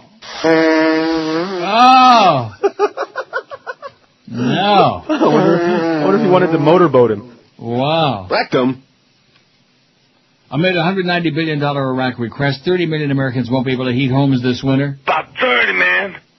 As he prepares to ask for 190 billion to fund the war in Iraq, President Bush refuses to approve an extra half billion dollars that help one in four American households pay for skyrocketing home heating bills this winter. The debate illustrates what critics say are Bush's out of whack spending priorities after he vetoed a popular measure that would have expanded health care available to poor children. No money for kids' health insurance, no money to help poor families pay for their heating bills, but President Bush wants $190 billion additional for 2008 for his wars in Iraq and Afghanistan, CNN commentator Jack Cafferty said Monday. Senate Majority Leader Harry Reid says the president's new request means the cost of the Iraq war is now approaching $650 billion. I wonder if the Democrats will give him the money, says the curmudgeon. Rising oil prices are creating a heat or eat dilemma for families struggling near or below the poverty line. Parents know that children can freeze to death more quickly they can, than they can starve to death, and so most decrease food purchases first to pay for heat, wrote Dr. Deborah Frank, director of the Grow Clinic for Children, and Joseph Kennedy the Tooth, chairman and president of the Citizens Energy Corp in the Boston Globe Sunday. The home heating debate involves grants distributed through the Low Income uh, Home Energy Assistance Program known as LIHEAP. LIHEAP. The program operates with an annual budget of $2.16 billion, just $300 million more than when the program started way back in 1991, as Cafferty notes. The House wants to bump LIHEAP funding to 2.66 billion a year, while the Senate approved a bill that would maintain its current funding level, which would cover only 16% of the 38 million eligible American households. But even static funding is too much for Bush, who wants to cut the program to 1.78 billion for fiscal year 2008. That's less than 1% of the 192 billion he's requested to fund dual wars in Iraq and Afghanistan, and it amounts to about a week's worth of Pentagon war spending, according to CNN.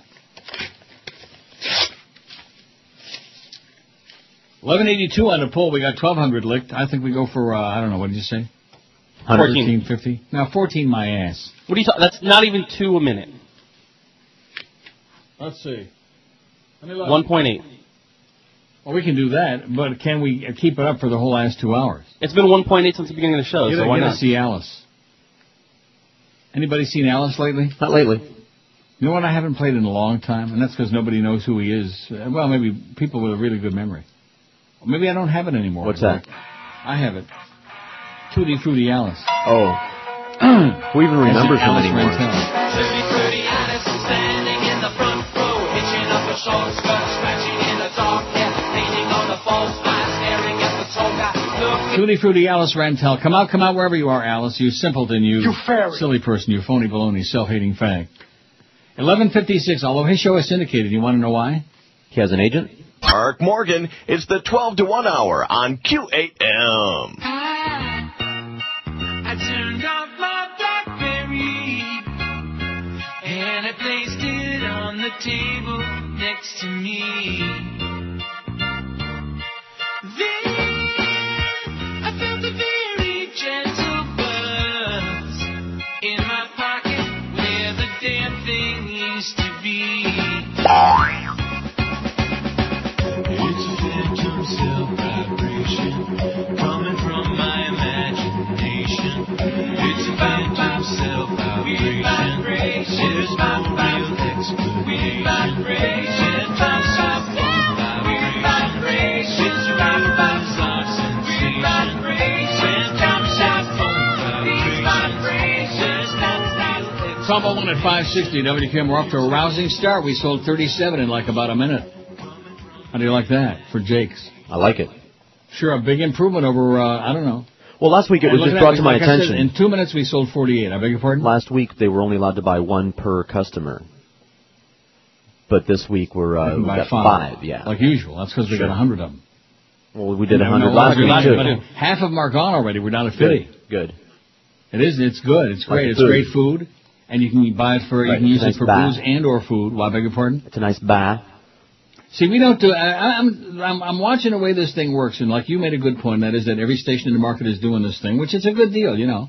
And, and I don't really mind that. I, we weren't the first ones, and we won't be the last ones. But the bottom line is this: when you got stuff left over from three weeks ago, like Stugotz, that tells me what I've suspected all along, and that is when you see these phony ratings they got across the street. based on one month of Wired Diaries every few months. About every six months they get this bogus, wild month, and and it's like, oh look at this, we're kicking ass, especially the younger demos. And what it means is they got a hold of uh, maybe some of the employees there or some of their buddies, uh, you know, had a you know got a bunch of diaries and they wired them all and and they listen all day according to them during that month, and then they disappeared the next month because uh, they weren't there in the first place. You know what I'm saying? What are you saying? Wired Diaries. But then when push comes to shove, and Stugotz is still trying to peddle stuff from restaurants three weeks ago, that tells me, look at that, we only got 48 left. We sold over more than half in three minutes or less. Isn't that a feather in my crap, cap? Yes. I'm not going to keep refreshing. Oh, it is fun when you see on the on the very first refresh there were like 11 gone already. And by the way, it's uh, worth mentioning that they're across from Sunset Place, which is a very happening area for what it's worth. Good. It's not like they're 46 you know, left off now. any sort of you better grab them because once they're gone, as Tommy says, once they're gone, they're yeah, gone. they don't come back.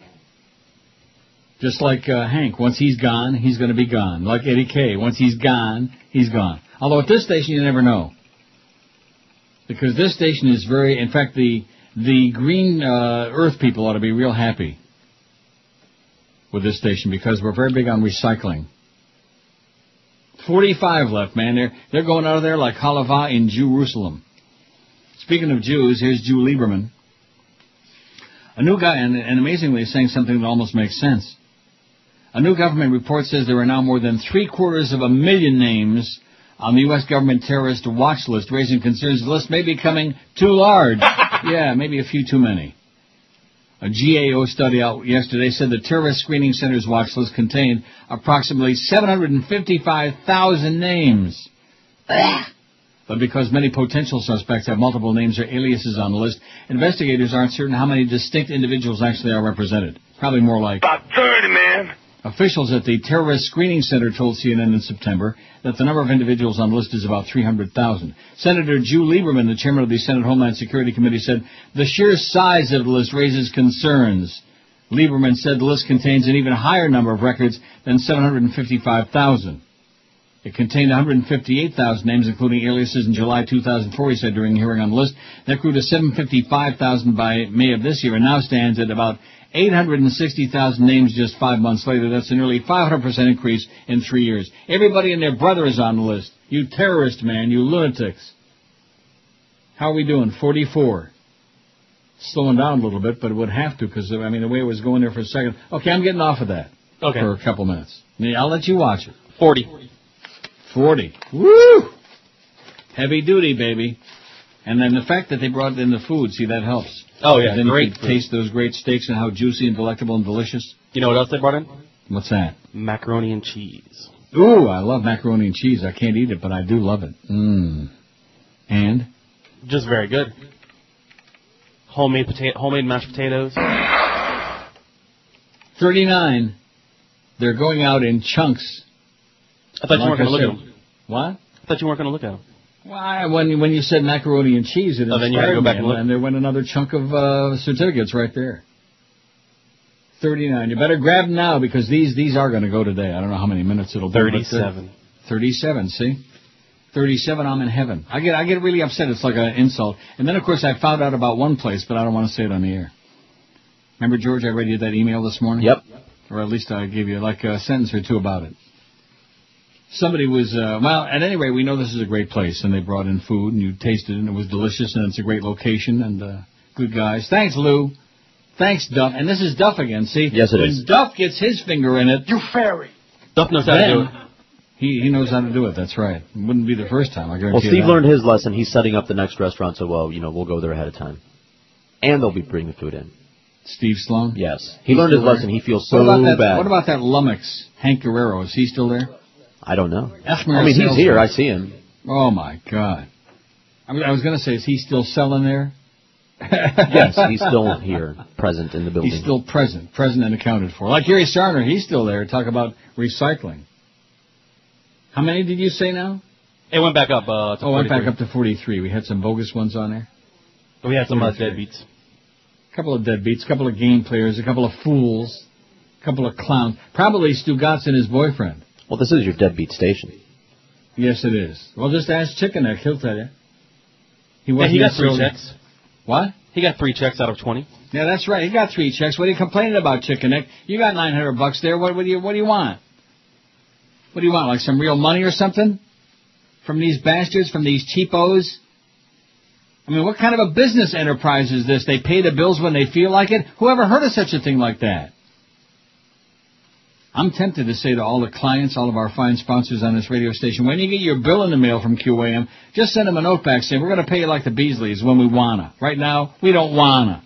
We don't wanna. We'll pay you when you pay Book O'Brien. Yeah, when you pay Chicken Neck, then we'll pay this bill. You deadbeats, you lummoxes. You phony balonies, you fools. Like Tom Jicha says, QAM is a disgrace. You know, I like that word. I don't think you What? use it often enough. Lummox? Yeah. Oh, yeah. L-U-M-M-O-X. Am I spelling it right? Sure. All that reading of these bedtime stories I do, I've got my scion. I just, I, I don't like that word. S-C-I-O-N. I know what it is. I always say see a skion, sky a skyon. Yeah, I used to say Skyon, and then somebody set me straight. Skyon. You said skyon? Look, I say lots of Now we're things back wrong. up to 45. We're like having some, we're, we're moving in the wrong direction on these. I think it's all your fault for watching it. Oh, that's right. I better go back to the pool. Oh, there he goes with the numbers again. You're mailing it in again, Dale. You're mailing it in, you son of a bitch. Yeah, Twelve, that's twelve. right. 12, 12 what? Oh, on the poll? Votes. Well, when you quit with the numbers, now you're mailing it in, you son of a bitch. I learned from the best. Yeah. Mail it. I got a lot of Canadian stamps here, and guess what? They're worth more than your crappy stamps now. Let's take a look. Let me, if I have the guts, if I have the cajones, take a look at the uh, lunch money, it says. Don't hurt I don't, let me see how the Canadian dollar, the loonie, is doing against the worthless. Thank you, Mr. President, for those low gas prices. That kid should have been shot. We should find him. That kid that called back uh, when we had the Iraq attack and I was ripping, and I said it's all about G uh, O I L and M O N E Y. Remember that? I kept saying it over and Yep. over again. Just like I was the first one. I told you these were a bunch of Nazi bastards. Oh, Neil, you get so carried away. Now, now it's commonplace. Remember that great article I read yesterday about the Hitler comparison? Yes. Nazi bastards. That's exactly what they are. You can hear the goose steps a million miles away. Come on, let's see what that. I can handle it. They're uh, they're flipping it in the upper right hand corner here. They're going to show me what that loony is worth. After I get through seeing the oh the Dow is down a little bit. The Nasdaq is down precipitously, 26 point. Canadian 103 and a third. Oh, Euro 140, almost 143. Oh, thank you, Mr. President, for that worthless American dollar. We ain't got two nickels to rub together anymore. Pretty soon it's going to cost you like 80 bucks for a gallon of gas. 1,212 votes on our poll. 1212. What was the most overhyped? Y2K 558. War on Terror 315. And of course, I think we know why we haven't had another terrorist attack. But then again, right? Democratic Congress 159, global warming 62. Remember Cheesehead Tommy Thompson? He said uh, he couldn't figure out why they hadn't poisoned our food supply because it'd be so easy to do it. That was our uh, Cheesehead. Global warming 52, the Segway 50, bird flu 40, SARS only 12. I bet you most people in America have forgotten about SARS. And so most people here too. Did I tell you about that guy who smelled this Russian guy? I had that old lady who was staring at my machine yesterday at Woodbine, and then I had this smelly Russian guy who smelled like a combination of booze and a stale bologna sandwich. So you liked it? SARS 12, mad cow disease 8, and killer bees only 8. Killer bees! Killer freaking bees, baby! 45 still. We're stuck on that thing now. We had such a promising start. Oh, 40 again. Well, we'll see. We'll see how it goes. No matter what happens now, like I told you about that Stugotz situation, man. You don't Gotts the audience that you're pretending to, okay? In fact, I noticed, I don't, unless I missed it, I didn't see anybody, even very jackass, who's in their back pocket. That didn't write about the summer book. Even though they His beat us mom's probably still writing the article for him. Yeah, that's right. Oh, maybe when Joel gets back from his uh, mugshot, he'll write the article for uh, Barry Jackass. Hey, Barry! You fairy. Neil God. Home invasion. It's what every family fears. Protect your loved ones with the most effective home security system available. My God! Whoa, what was that? Tango down. Repeat, Tango is down. That wasn't Tango. That was my mother. Uh, she didn't have the password, ma'am. Thanks, Blackwater. Harold. What? Blackwater Home Security, with their exclusive shoot first, ask questions later technique, will guarantee your family safety. What was that? Mr. Johnson, uh, got a good news, bad news scenario. Good news, the intruder has been neutralized. What's the bad news? Uh, we were unable to save the box of Thin Mints. Repeat, Thin Mints are collateral. Blackwater Home Security. Always ready, never accountable. 1217 at 560 WQAM. We got 36 left. The certificates for Jake's, $50 certificates for 25 bucks. We were down to 34 and then we had a couple more deadbeats. Probably the same ones. Probably. It's okay. Stugotz is still peddling from three weeks ago. How do you like that? And and keep in mind that's on their high-rated show allegedly, the Dan LeBastard show. You know, featuring a guy who didn't belong on air when he was on QAM and certainly don't belong on air over there. But nevertheless, that seems to be the thing now in in so-called radio in South Florida. People who don't belong on the air. Did you know that uh, before Levitar went over there, when he was on ESPN Radio on the weekends, he would Yes, I do know that because Okay. what he used to do is sometimes he would tape a segment and he would come in during our show and would wind up bleeding over on our air and they would screw it. Remember that, George? Nope. Yeah, you do. Yeah, I do. Oh, he used to do it live also on Sundays. And It just he like I would be here running the board for a regular show. 32. Yeah. And uh, all he would come in and ask is, uh, "Where's the bathroom?" Didn't talk to you, didn't say nothing. Piece of crap, huh? Well, you know, Dan so- LeBastard. Although I guess his show is a little more entertaining than maybe what we had on certain hours. I don't know. I, I don't know. I've never. I, I saw him on TV that one time on E ESPN. He was uh trying to be funny. He was not. He was So a jerk. trying is the operative word. What a joke. and like I said, when you take out that bogus number, 31, we've reached a, uh, a milestone here. We're down to 31 out of the 100. That's pretty good in 15, 18 minutes, ain't it? Mhm. Yes, sir. Not spectacular. I mean, it's slowed down to a crawl now. But they like, they like, oh, back up to 33, you see? Uh-oh. Well, there's a lot of crap going on, you know. I'm not, I don't get upset about it anymore. I learned my lesson that one week. I got, I was wild that week. I don't know why. Which week would that be, since there's been so many? Oh, two or three. Uh, What, I'm wild every week about these? I don't know what you're talking about. Usually within just a few minutes, they're gone. When they're gone, they're gone. There ain't When there's more. 50, they sell quick. Are you, are you back at this again? You know what? I'll just sit back in the chair and I'll let you go through this whole rap again, okay? Okay. Rap. Ba, ba, ba, ba, ba, ba. Yeah, wrap it. When in doubt, wrap it out. Wrap it up and take it home. Maybe some of that great food that was left over from Jake's, the juicy, delicious steaks, mmm, and ribs. You wrapping it? Yep. Back up to 33. Back to 31 now. We're bouncing around like a rubber ball, like Bobby V. Like a rubber ball. Phil Henry hated Bobby V, and for that reason. I'll never forgive you that for that, Phil. Are you sure? I don't mind that. It's just the fact that you became a Nazi. I didn't like that too much. And the fact that you lied to us and Rick and Spud. Remember that day? Yep. When we went across the street there at IOD? Sad, a sad, sad day. And, and little uh, Bob Neal got up there on the stage and, and dissed us, dissed all of us who had worked our brains out for IOD. Well, we've tried everything we know to make money with you guys, and we can't do it. Maybe Buddy Paxson can do it. And then here came Bud Paxson along. I'll never forget another thing as long as I live, and that is after that grotesque speech, here came Paxson and his cohorts there, all the guys with their expensive traded out suits. And they're like, he's shaking my hand, and I say, hey, bud, remember I worked for you in Sarasota for a week and you never paid me, or for two weeks at WYND. oh, no, Neil, I don't remember that. Oh, ho, ho, ho. Yeah, right.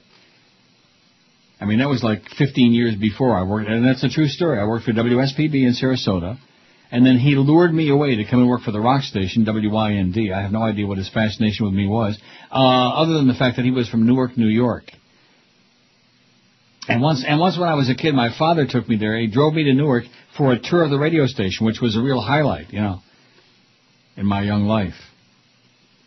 And here's Buddy Bud Paxson. He buys WIOD. He pats me on the back and shakes my hand. Oh, we're going to do great things together. Yeah. Oh, yeah. And the deal was that they kept the Dolphins and they kept the Neil Rogers show, and that was it. Remember that? Yep. That was the deal. And then little Bobby Neal walked across the street with me, and I think Bob Green was tailing behind, uh, like usual. And Bob Neal saying, "Oh, you can you can go to work in New York with Howard. You can go uh, do this." You can go. And I, I thought to myself, "And you can go to hell and rot a wicked death, little Bobby Neal. Somebody ought to step on you, okay, before you uh, start multiplying." He has a handshake like a dead fish. Bob Neal, I forgot. You Yeah. remember that? He doesn't actually squeeze your hand. He just kind of holds his hand out there and lets you, uh, you know, squeeze it. Oh, like limp. Oh, lets you squeeze it. That, that's what uh, that priest wanted. Hold it out there and let me uh, squeeze it. oh, I want to give it we're a whiff. stuck. Oh, stuck on 31. But at least not going back up again anyway. I, I don't know. I, I'm not going to push all that hard because if they want them, they can get them. They're there. It's a great place. The food is sensational. And Yes, it uh, is. it's, what? Yes, it is. It's a great place. Food, great food. And it, it's a good location, so that I'm, you know, I'm not going to stand on my head. Speaking of 32, but now it's down to 31. But when it was 32, it reminded me of OJ. A lot of famous 32s. Gale Sayers was 32. Am I right about that, Chris? You bet. Yeah. Jim Brown was 32. There was the greatest 32 of them all. Was Jim Brown. Also another uh, woman beater. I don't think he killed any though. New charges of felony coercion were filed today against, this is yesterday, against O.J. Simpson and three co-defendants in the alleged armed robbery of two sports memorabilia dealers. Prosecutors increased to 12 the number of charges against Simpson, Clarence Stewart, Michael McClinton, and Charles Ehrlich.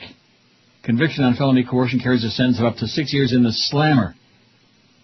The four men didn't appear, have to appear before the judge. They were represented by their lawyers. The revised complaint drops charges against Walter Alexander and Charles Cashmore, who pleaded guilty to reduced charges and are testifying against the others at a preliminary hearing beginning November 8th. Alexander, Simpson's golfing buddy, and Cashmore, at times a day laborer, disc jockey, and bartender, have agreed to testify against the aging football star and the other men who went to a Vegas casino hotel room to retrieve items that Simpson said belonged to him. I'm, I'm going to go to the bank this afternoon after the show. I'm going to say, I'm going to say, I'm going to want a whole bunch of money. I'm going to take a gun, and that money belongs to me. All right. About fifty All million. right. By the way, the uh, lotto last night. I don't know if anybody won it. You want me to look it up? It was twenty million. I got twenty-five bucks. I spent two hundred and got only twenty-five bucks back. That's not good. Tell me about how I have a bad gambling problem. I wouldn't have uh, said that. You can afford it, so it's not if that I bad. would've Won, if I would have got the oh look at that nobody won it's twenty seven million for Saturday wow or twenty two million, twenty two million for Saturday I'm going to go ahead and win it. Remember Rainier used to say that all the time and now Mhm. he's dead. We miss you, Mike. what a shame.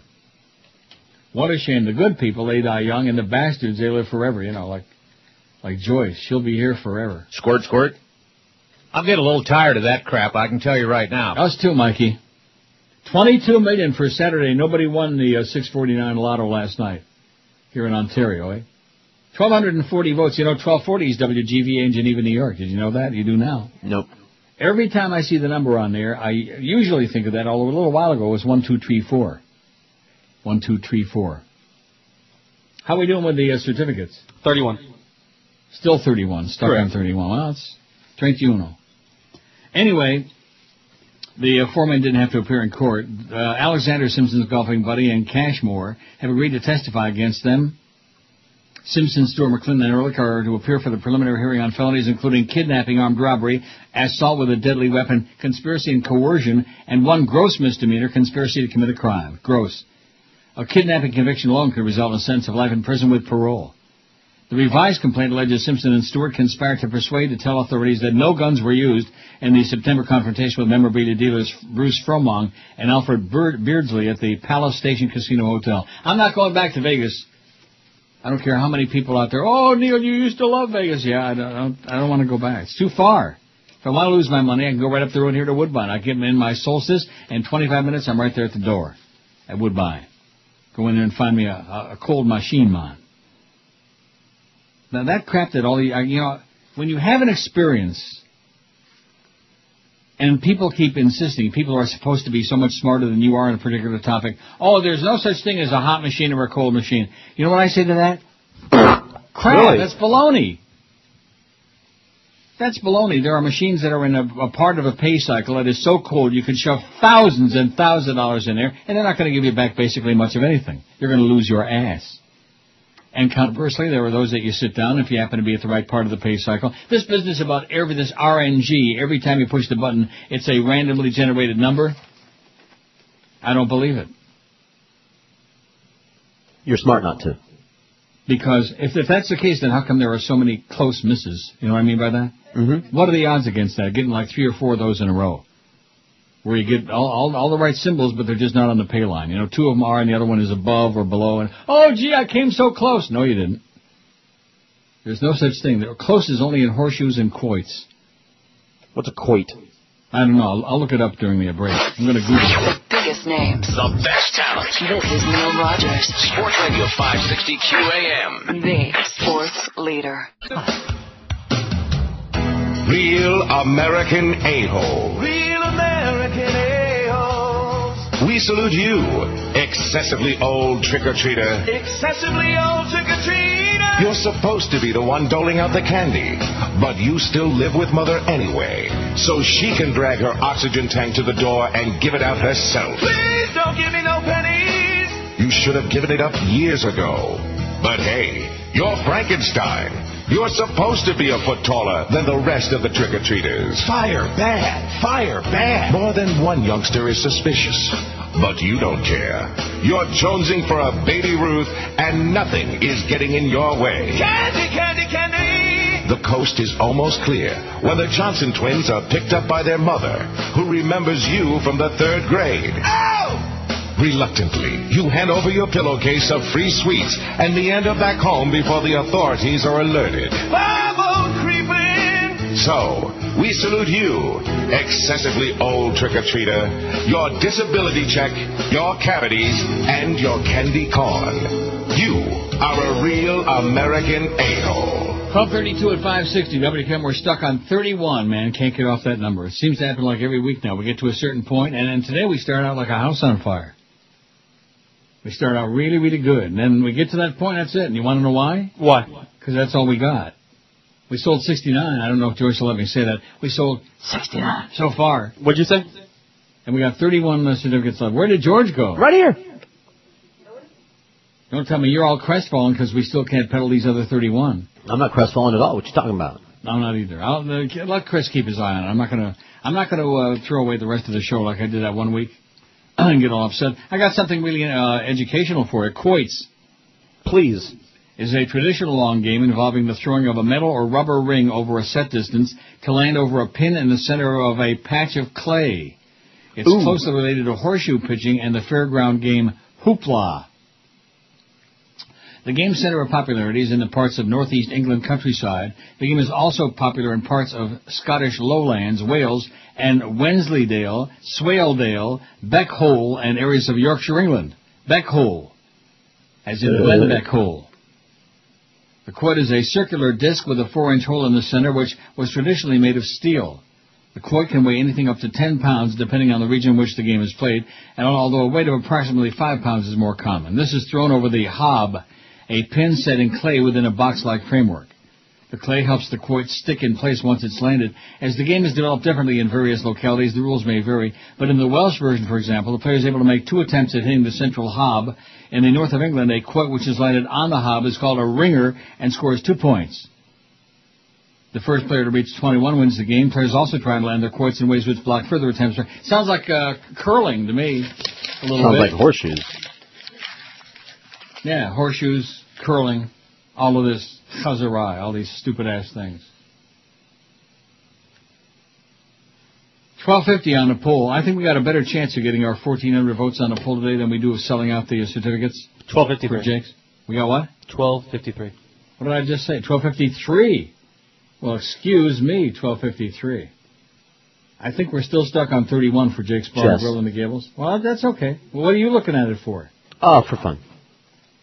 Oh, you're starting to get whipped up about that now too. You're starting to get emotional about it. I mean, I'd, I'd like to see them sell out. I'd like to see They them all deserve sell it. out because they deserve it. They brought The in some great phenomenal. It's a good place. The food is sensational. It's a good deal. You get 50 bucks worth of food and drink for 25 bucks. What's not to like? But, uh, you know. I just, uh, you know, I just show up every day and do the best I can. That's all I can do. Under impossible circumstances. The U.S. is ordering sanctions today against the Iranian military. They made a big simus out of this this morning. Yeah. Condoleezza singled out Iran as the biggest threat to U.S. security. This is just like we had with Iraq with the weapons of mass destruction and their allies with Al-Qaeda, and they stole several freight trains and all the other lies. Rice and Treasury Secretary Henry Paulson are designated Iran's elite Quds force as a supporter of terrorism, unlike, of course, our good friends the Saudis. And its Revolutionary Guards is a proliferator of weapons of mass destruction, triggering economic sanctions. The sanctions allow efforts to financially isolate Iran's military and press hundreds of foreign companies doing business with it to back out or risk U.S. sanctions, the newspaper reports. New York Times and Washington Post. These will be the broad, broadest sanctions imposed on Iran since the country's Islamic Revolution in 79 and comes as the international community is embroiled in a mounting standoff over Iran's nuclear program. I'll tell you one thing, boys, sticking the Shah there in Iran and sticking Saddam Hussein there in Iraq as we did, those both sure worked out really well, didn't they? Kind of worked out like that Kenny and Bo morning show for Fat Ass Jolly Joe Bell. It is also the first time the U.S. has directly sanctioned another country's military, the Post says. The Quds Force, the Foreign Operations Branch of the Revolutionary Guard, runs Tehran's covert activities throughout the Middle East, though its existence has never been officially acknowledged. U.S. commanders say Quds operatives have armed and trained Shiite militias that have attacked U.S. troops in Iraq's bloody sectarian conflict. The Revolutionary Guard Corps, the most powerful wing of Iran's military, controls construction companies, pharmaceutical plants, and segments of the oil industry. U.S. officials told the Post it also operates the front companies that procure nuclear technology. And it goes on. Just, it's more the same. Where it's deja vu all over again. And the Democrats sit back. Yeah. And the public sits back like, well, what's this got to do with Britney and Dancing with the Stars?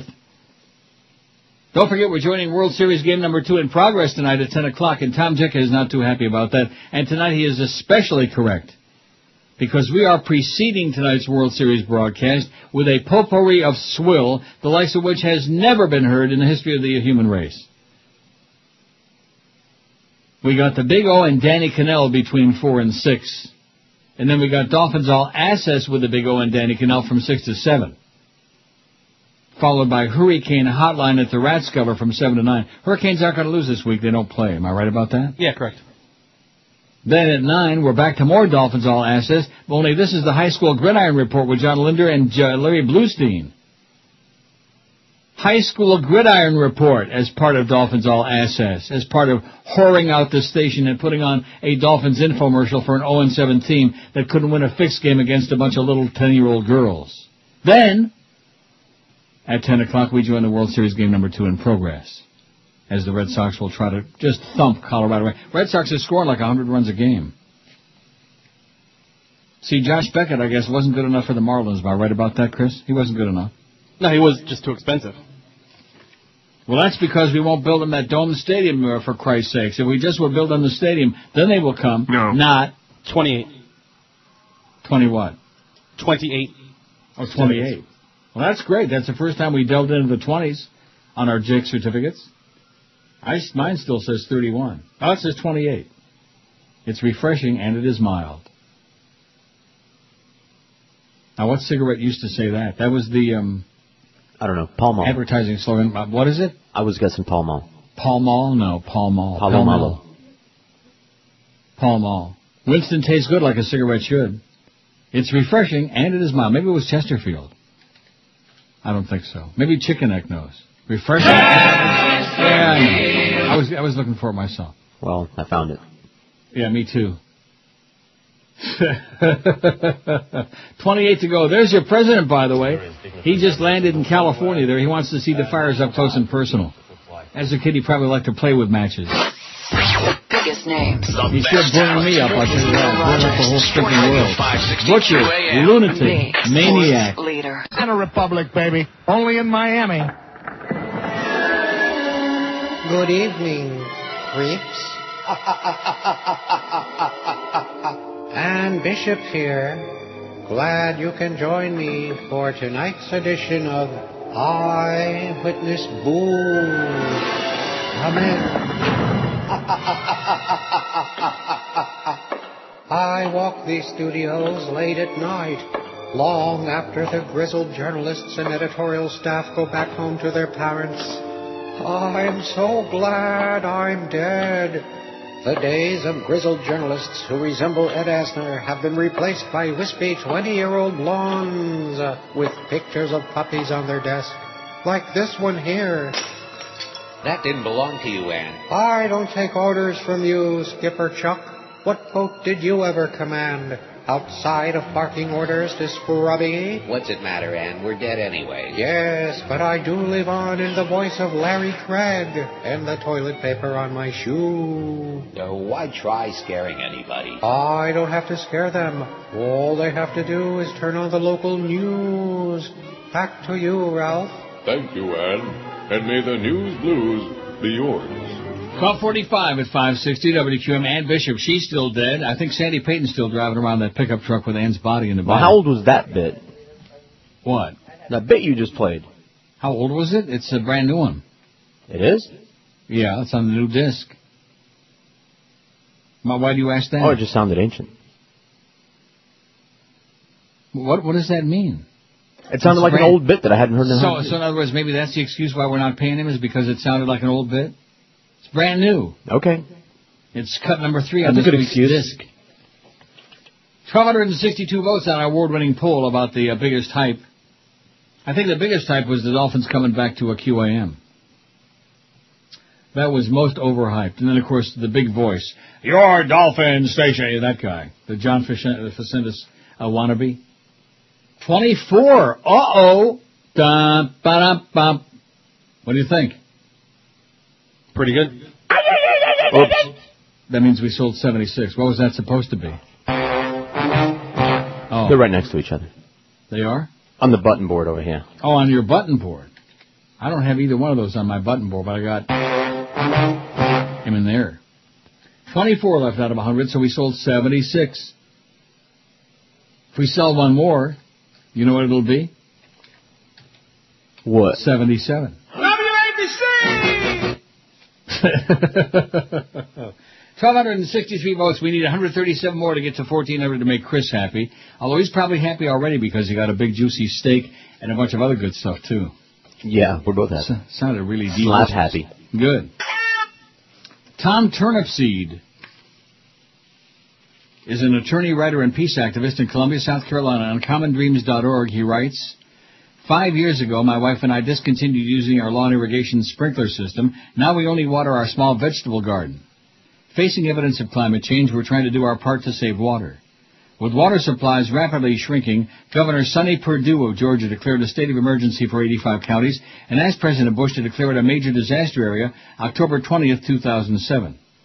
A drought of historic proportions is affecting Tennessee, Alabama, and Georgia, as well as parts of North and South Carolina, Kentucky, and Virginia. Meanwhile, drought is feeding a fiery fiasco in California. In the past five days, parts of Southern California have become out of control, raging infernos as another hot, dry summer turns dehydrated forest into combustible tinderboxes. On October 21, 2007, CBS's 60 Minutes correspondent Scott Pelley reported that recently there's been an enormous change in western fires. In truth, we've never seen anything like them in recorded history. It appears we're living in a new age of mega fires, forest infernos ten times bigger than the fires we're used to seeing. According to the number of acres burned, seven of the ten busiest forest fire seasons in the U.S. have occurred since 1999, based on the records going back 47 fire seasons to 1960. Pelley said last year's was the worst in recorded history, and this year already is a close second with two more months to go. More than 8 million acres have already burned this year. After 30 years of fighting fires, Tom Boatner is now the chief of fire operations for the federal government. He says a fire of this size and this intensity in this country would have been extremely rare 15, 20 years ago, but they're commonplace these days. Ten years ago, if you had a 100,000 acre fire, you were talking about a huge fire, and if we had one or two of these a year, that was probably unusual. Now we talk about 200,000 acre fires like it's just another day at the office. It's been a huge change. Pelley uh, also talked with Tom Swetnam, a fire ecologist at the University of Arizona. Swetnam has the largest collection of tree rings in the world that go back 9,000 years, with each one of those rings capturing one year of climate history. Swetnam says recent decades have been the hottest thousand years, with a dramatic increase in fires high in the mountains, where fires were rare in the past. As the spring is arriving earlier because of warming conditions, the snow on these high mountain areas is melting and running off, so the logs and the branches and the tree needles all can dry out more quickly and have a longer time period to be dry. And so there's a longer time period and opportunity for fires to start. The fire season in the last 15 years or so has increased more than two months over the whole western U.S., Swetnam said.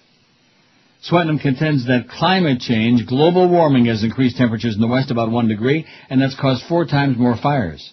Swetnam and his colleagues published those findings in the journal Science, and the world's leading researchers on climate change have endorsed their conclusions. Pelley mentioned to Boatner that there are a lot of people who don't believe in climate change. Boatner replied, you won't find them on the fire line in America's West anymore, because we've had a climate change beat into us over the last 10 or 15 years. We know what we're seeing. We're dealing with a period of climate in terms of temperature, humidity, and drought that's different than anything people have seen in our lifetimes. On October 24th, L.E. Venom, With the conservation voters of South Carolina wrote a guest column titled Lacking Vision on Energy in the state paper in Columbia, South Carolina. She's highly critical of Santee Cooper, South Carolina's publicly owned utility, for their proposed construction of a 1,320 megawatt pulverized coal plant in a rural area along the great Pee Dee River. You ever heard of the Pee Dee River? No. That's how they made it. Heard of Yellow P. River.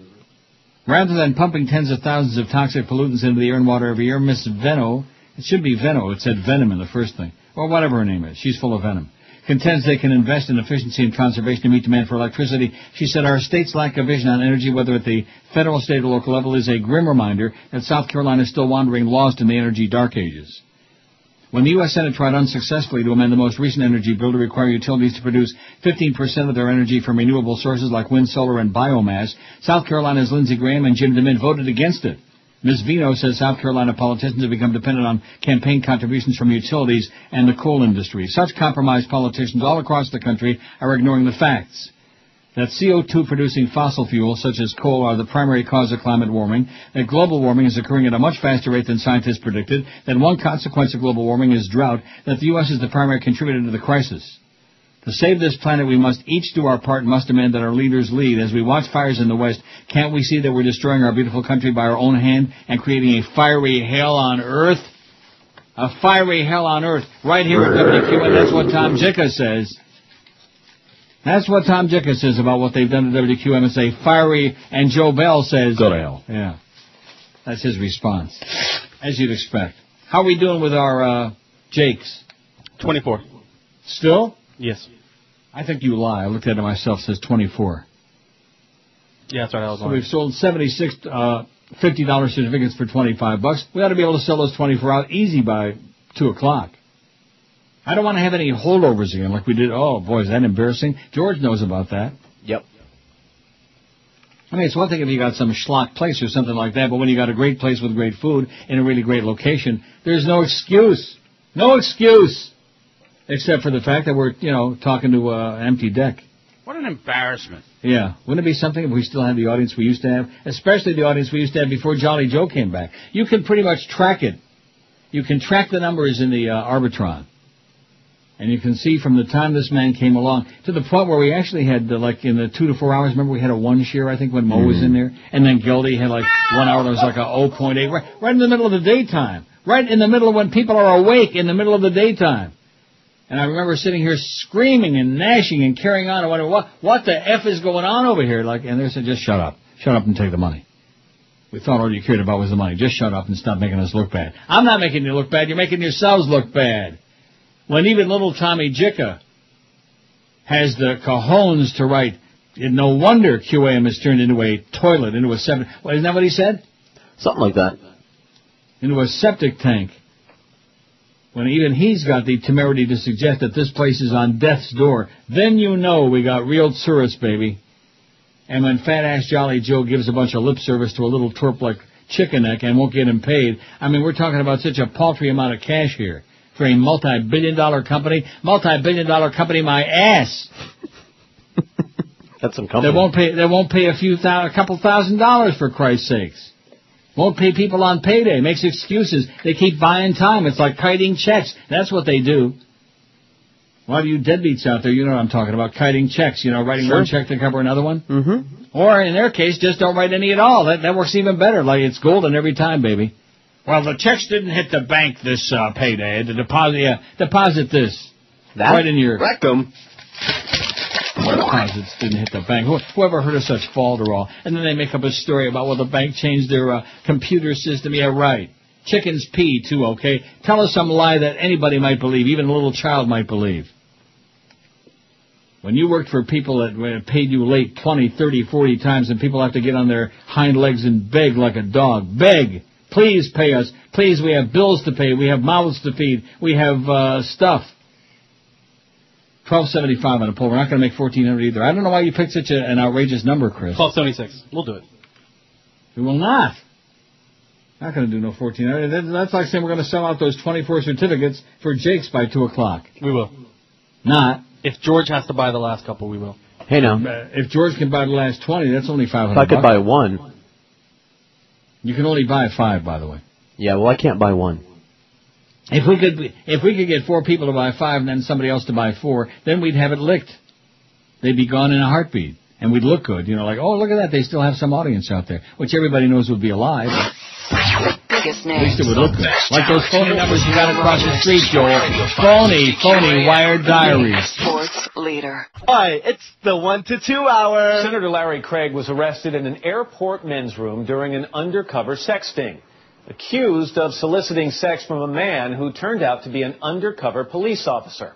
Now, for the first time, the senator and his wife Suzanne are telling their story. I had been in that bathroom, I don't know how many times uh, over the years. This particular bathroom is described as a hotspot for anonymous sexual encounters. Yeah. Were you aware at all, Senator, of the reputation of that specific bathroom? Oh, yes.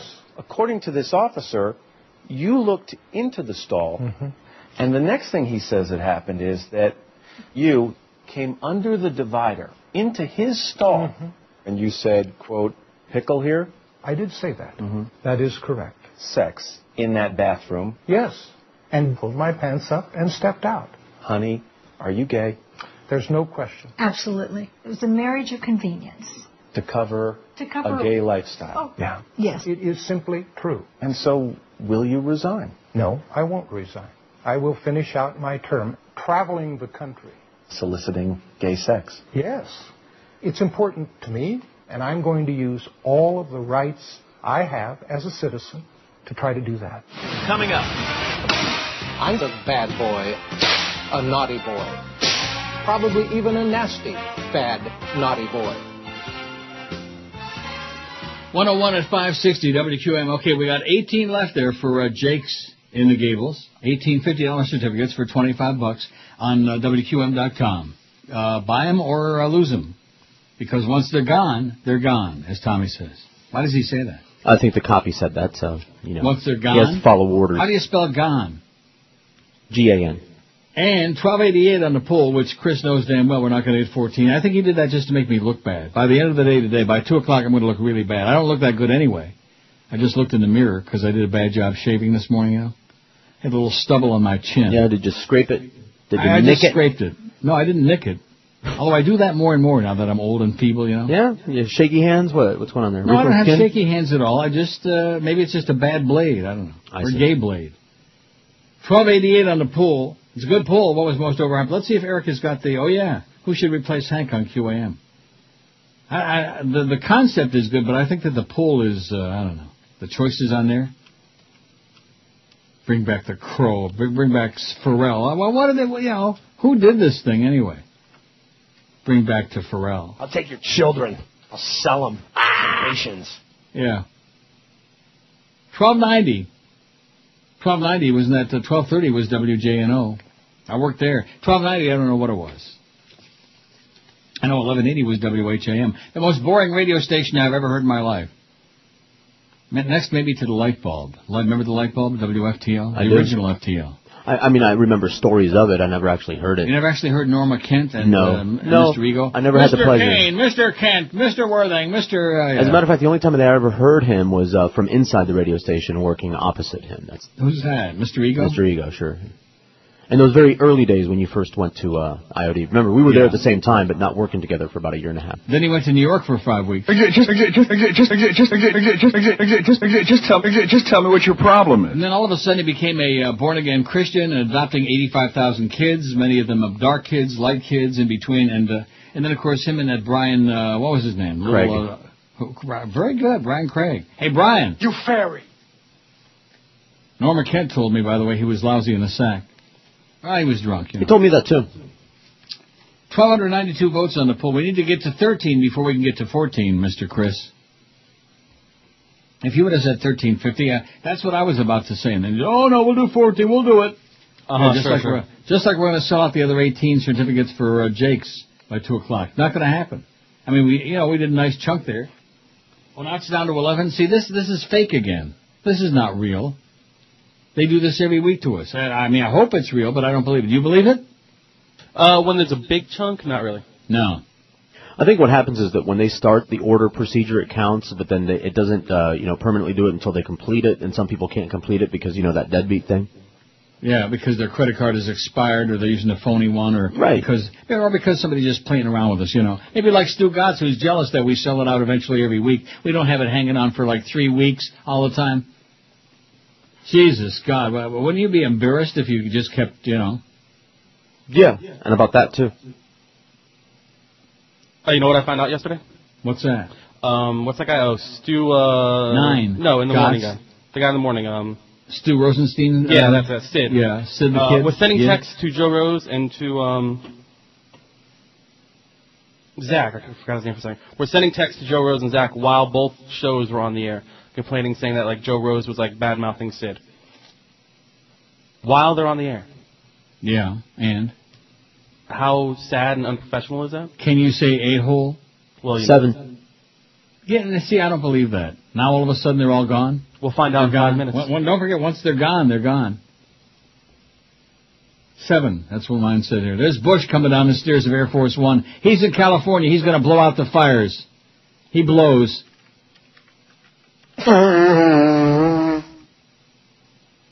Seven left. Well, we ought to be able to do that by two o'clock easy. Oh, yeah. Whether they're, whether they're legit or not. I mean, you know. Mm-hmm. For the second straight day, speaking of Nazis, Fox News stood virtually alone in advancing thinly supported speculation to raise fears that the wildfires ravaging California are not the result of a confluence of arid heat and high winds, but were set deliberately by Al Qaeda terrorists bent on destroying America. Oh my God. Right. Fox and Friends, the conservative cable channel, was panned yesterday for breathlessly reporting a sketchy four-year-old FBI memo as if it offered new information linking America's enemies in the global war on terror with a plot to burn down Southern California.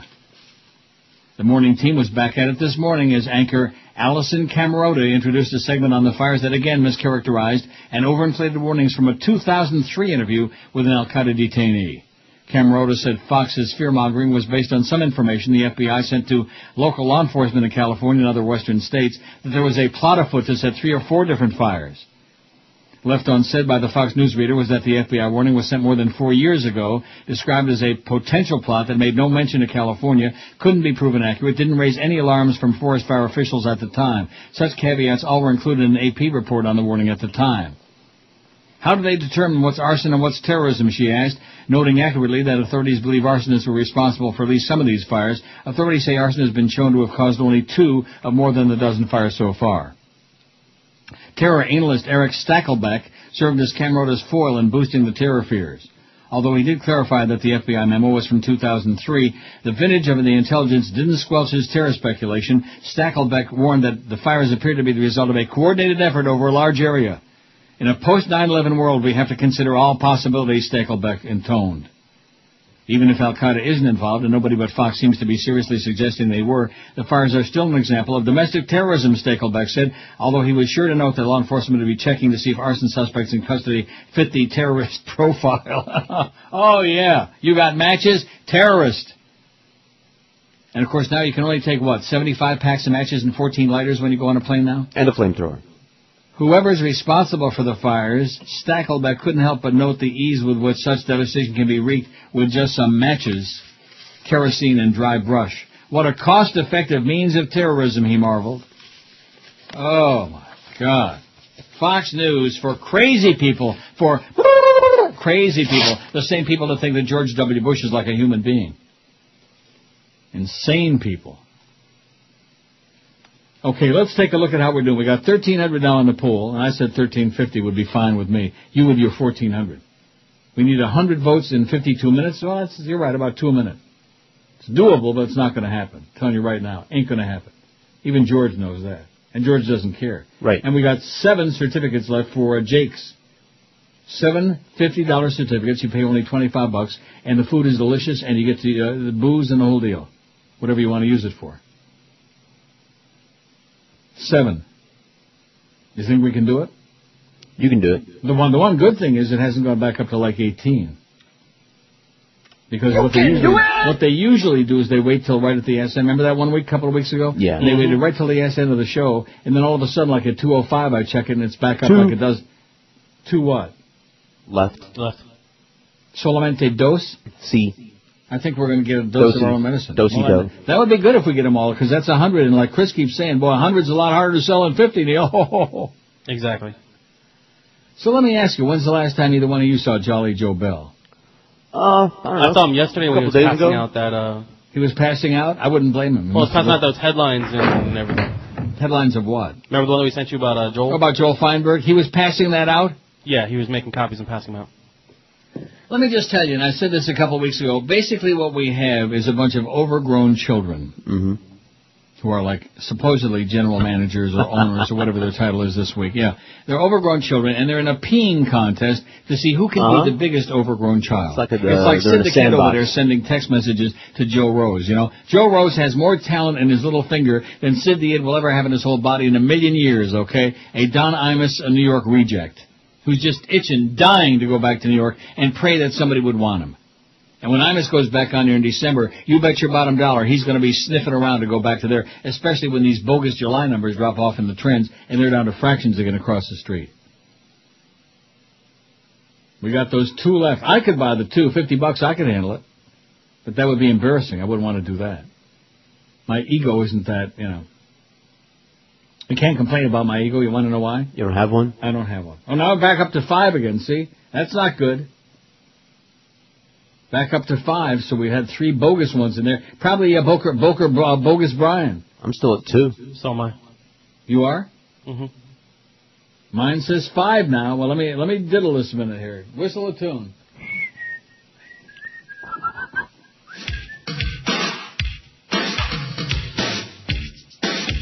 Two, like I said. Due. Soltanto due. Well, we'll do that. Like I said, if uh, George has to buy them, it's only fifty bucks. I'll send you a check. For a hundred. Oh, we got an update on the story yesterday about the Reverend Ronald Smart in New Port Richey. Remember that guy? Mm-hmm. Until he was charged with misdemeanor battery last year, Pastor Ronald Smart had enjoyed a reputation as a community leader, family man, and church leader. It's a reputation a jury decided yesterday he'll get to keep. A jury of four women and two men found the pastor of Union Missionary Baptist Church not guilty of misdemeanor battery yesterday, acquitting him of allegations made last summer that he partially undressed and inappropriately touched a male parishioner. A conviction not only would have meant legal sanctions, but the loss of reputation built serving the community and ministering. Oh yeah, ministering to people's needs. His good name is everything to him, said defense attorney Christopher Fry. That's what he ought to do is Fry. The pastor smiled, then stood up and hugged his wife Cheryl as the verdict was read at 2.11 p.m. yesterday. Smart 48-year-old father of four and a manager at Nielsen Media Research left without comment, referring all questions to his attorney. The victim, a 37-year-old father, whose identity is being withheld by the Times, the St. Pete Times, because of the nature of the allegation, also left without comment. He clenched his jaw as the verdict was read, then exited County Judge Candy Vandercar's courtroom even as the jurors were being polled. Zero. Get out of here. We sold them all? Yeah, we'll see. in If that's minutes, legit, yeah. if we don't have some come back, I am going to sit down and I'm going to pee on the carpet here. I'm going to be so excited. Both men gave conflicting testimony on Tuesday. The victim told the juries that, jury that after going hours without sleep, he found himself at the pastor's Trinity home blacked out. He said when he awoke, he had been undressed and the pastor sat on his lap. He was lapping him. The pastor told the jury that it never happened. Instead, he said the victim tried to blackmail him to co-signing a car loan. The defense said the victim was struggling with money woes, was out to shake down the financially successful preacher and executive. When in doubt, shake it out. He was trying to shake him down. Now, what was that other priest he said he wanted to get a hotel clerk to whip out his what? Don't say it. Okay, let me refresh this and see for myself. Sold out, it says. Sorry, certificates sold out, a hundred of them. And those people are going to have them a good meal. I, mean, I hope that's for real, for a good meal. Yeah, no, 1509. everything. We took a little sampling. Food is sensational, so they say. And when you say it, I know, because you're a hard ass. Yes, I am. 1309 on the poll. We need 91 votes in 47 minutes. If we can do the 1400 and sell those out, then we're going to be dangerous someday. Not necessarily here, not necessarily with this management, but then again someday, sometime, somewhere. QAM. The sports leader. Howard David's a bitch. I stand, a naked man, in the shower stall. All around are photo clouds, staring at my balls. We're straight guys talk all the time about men who play games can keep their eyes off right behind, insisting they're not gay. You fairy. You've got to hide your heart away. You've got to hide your heart away. Towel slots and ugly dances that straight gay old by. Men who talk of other men is a sport for state of mind. No girls here, just sport hole queers, having fun with the boys. In the locker room I hear boing boing boing boing boing boing boing. You've got to hide your away. You've got to hide your heart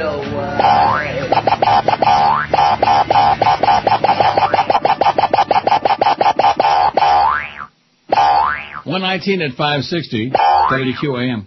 1,317 votes on the poll. You haven't got a chance of making your 1,400, Mr. Hotshot. I told you 1,350. Yeah, but I the, know uh, my crap. What? The certificates are officially sold out. It's official now, huh? Correct, Mundo. The tote board has got the red lights on there. It says official 1319. We need 81, 81 votes in 40 minutes. That's uh, two a minute. Not going to happen. Unless, of course, they come through for us like they did there with those certificates. It, it's for real? Yes, It is real? Don't Correct, say. Israel. That old lady will call up Joe Bell. and, Mr. Bell, he was saying terrible things about the Jews again and about Israel. What's wrong with him? Jake's Bar Yeah. Grill sold out one hour twelve minutes. Well, how do you like that for a nice comeback? After I faltered badly two weeks ago and George had uh, some difficulty last week. Again, one per customer really uh, slowed things down. And, and why was that? Why was it one That's that's how they wanted it. They wanted to get a uh, like a whole bunch of different people in instead of you know one person coming in five times. I mean, which is their option, but I didn't know that, so I was struggling and not Oh, you didn't why. know it? I didn't until just now, recently, like today.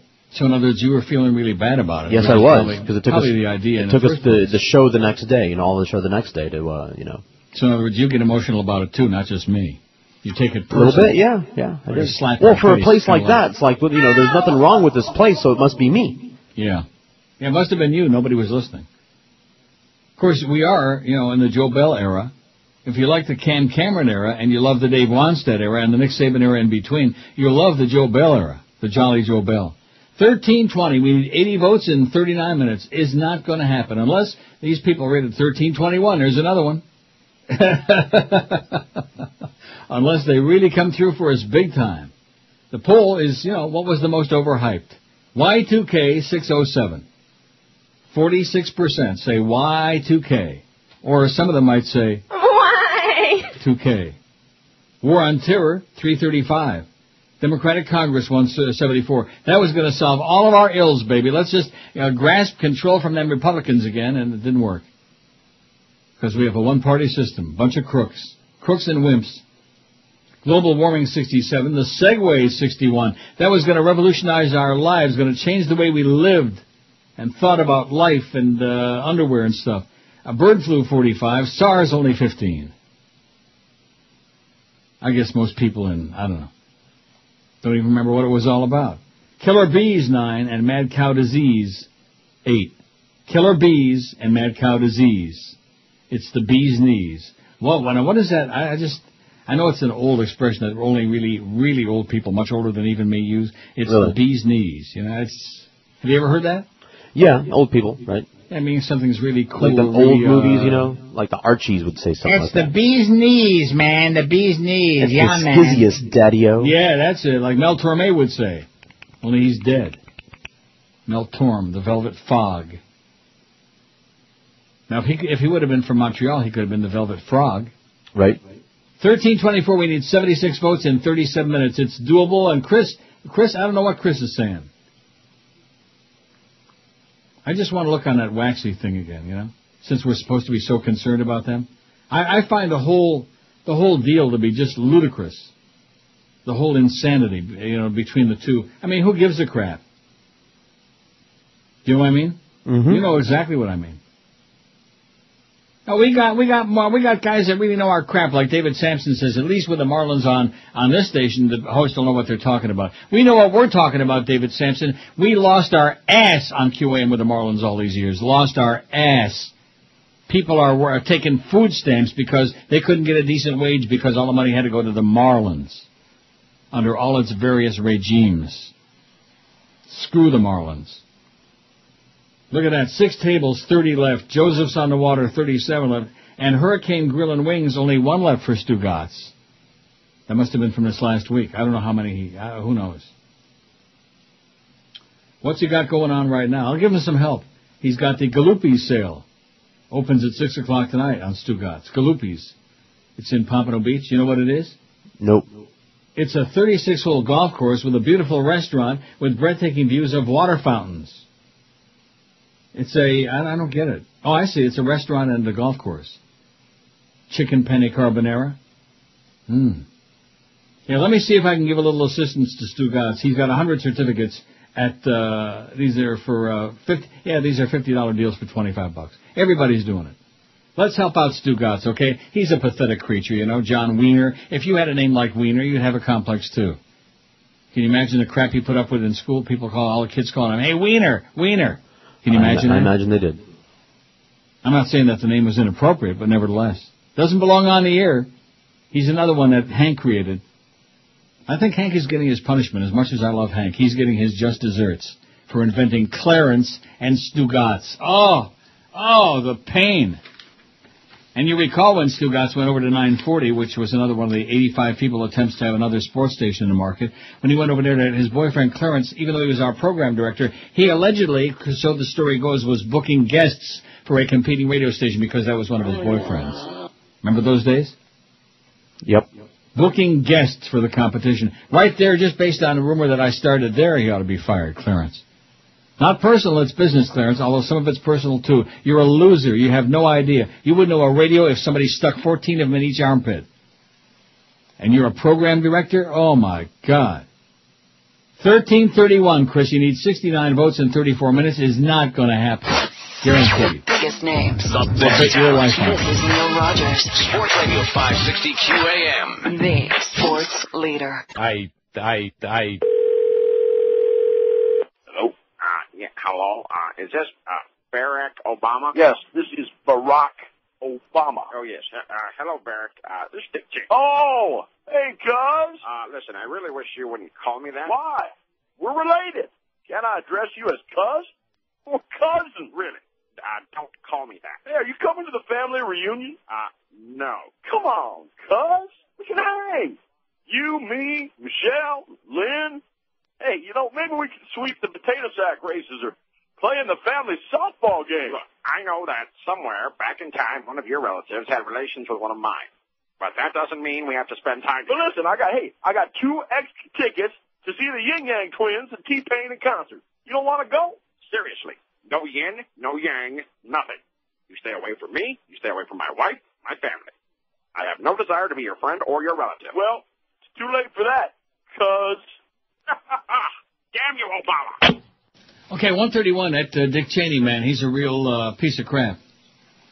1337 on the poll. We'll get to 1350, and that's uh, going to be pretty much it. And you're right, that is official. We sold out the 100 certificates for Jake's, and rightfully so. Wait, you didn't believe me? Well, I don't know. I mean, uh, it just it, we've we've been faked out so many times, you know, toward the ass end of the day. Oh yeah, once it no longer says current deals, then it's officially sold out. You know that for a fact. Yes, because once it says it no longer says current deals, it goes to past deals, and it gives it the amount of time it took to sell it out. What about if it says big deal? Well, then they're talking about you, aren't they? Posters of a rosy, puffy-cheeked newborn baby have provoked controversy in Italy because the infant is shown wearing a wristband name tag with the word homosexual written on it. This is from Florence, Firenze. Oh, what a beautiful place with so many beautiful people. Mmm. Mmm. The photograph of the baby is part of an anti-discrimination campaign launched by Tuscany's regional government and accompanied by the slogan, sexual orientation is not a choice. Homosexuality is not a vice and hence should not be condemned nor marginalized or worse still persecuted, the Tuscany region's civil rights counselor Agostino Fragai told Milan Daily Corriere, uh, Corriere della Sera in an interview published yesterday. I just like saying that. Corriere della Sera. Thousands of copies of the poster have been printed will go up on city walls and public offices around Tuscany with the sponsorship of Italy's center-left government's Equal Opportunities Ministry. But while Italy's main gay rights group, Archie, Archie Gays, said the company proved Tuscany is at the forefront and the rest of Italy should follow it, conservative politicians have condemned it. Exploiting newborns to suggest that homosexual tendencies are innate is a misleading and shameful act, said Lucio Volante, a leading parliamentarian for the Union of Christian Democrats. Some gay groups are also dismayed with the campaign. Gianni Vattimo, an Italian philosopher, gay rights activist, and European Parliament member, described the campaign as excessive. The slogan is too biology-centric, he said. Of course, for homosexuals, it's natural to be gay, but I'm not sure it's too determined by genetics, that Timo will be saying. No, it's uh, not in your genes. It's in your uh, underwears, in your BVDs. That's what Marky Mark told me. He said, it's in your BVDs. And I said, can I take a peek? He said, no chance. In my pants. 1345 on the poll. I don't know. What's Chris thinking? 55 votes in 26 minutes? No. 1346. First of all, when the hell did we ever do, I mean, I know we have done like 15. Didn't we once do 17 maybe a couple of times? Maybe. But that's when I cheated and we started the poll the day before, et cetera, and so on. I could start that other poll right now, and then we'd get another 54 votes easy. You want to do it that way? It's cheating. Let's cheat. Like what it do you matters. Huh?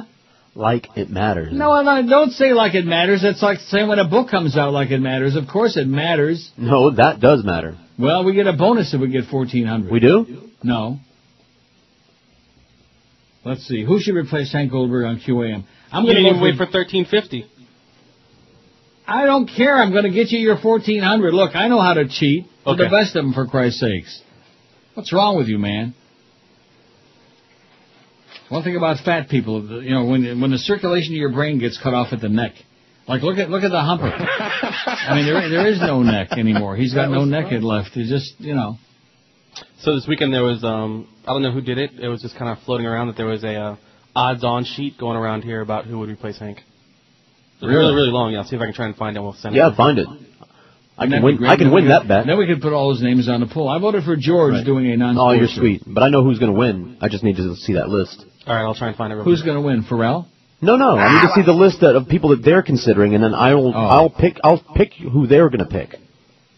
I'll Well, tell you who four they're going votes to pick. already. There's the 1350, Mr. Smarty Pants. All right. And if we can't get 50 votes on a brand new poll in 25 minutes, then my name is Ishka Bibble, okay? It is? My name is uh, Arlen's Inspector. What'd you say? Andrew Greeley writes in the uh, Chicago Sun-Times, why those who love America are feeling brokenhearted. I feel like playing, um, what's her name, from uh, Standing in the Shadows of Motown? Joan Osborne. be- who? Joan Osborne. Osborne. What becomes of the brokenhearted? Andrew Greeley says, I'm a, and he's a priest, by the way, but a good guy. Not one of these farbis, not a child molester that we know of. He says, I'm ashamed for America. Note carefully, I don't say I'm ashamed of America. Despite all its inherent flaws and all its tragic mistakes, the United States stands, however in- incompletely and with whatever imperfections, for the highest standards of freedom and democracy that the world has yet known. I'm ashamed for America because all the evil done in the nation's name in recent years is turning off the light on the mountaintop. One, the President urges Congress, in effect, to accept the Turkish protest against the attribution of Armenian genocide because it might interfere with Turkish logistic cooperation in the ill-started and foolish Iraq War. That's like silencing all congressional action on the Holocaust because we need Germany on our side. If Turks expect to become part of Europe and the West, they must acknowledge what their ancestors did. They could pass a resolution of their own accusing us of genocide against Native Americans if it would make them happy. How humiliating that the President wants us to ignore what happened to the Americans so we can be victorious in the global war on terror, the current replacement for weapons of mass destruction.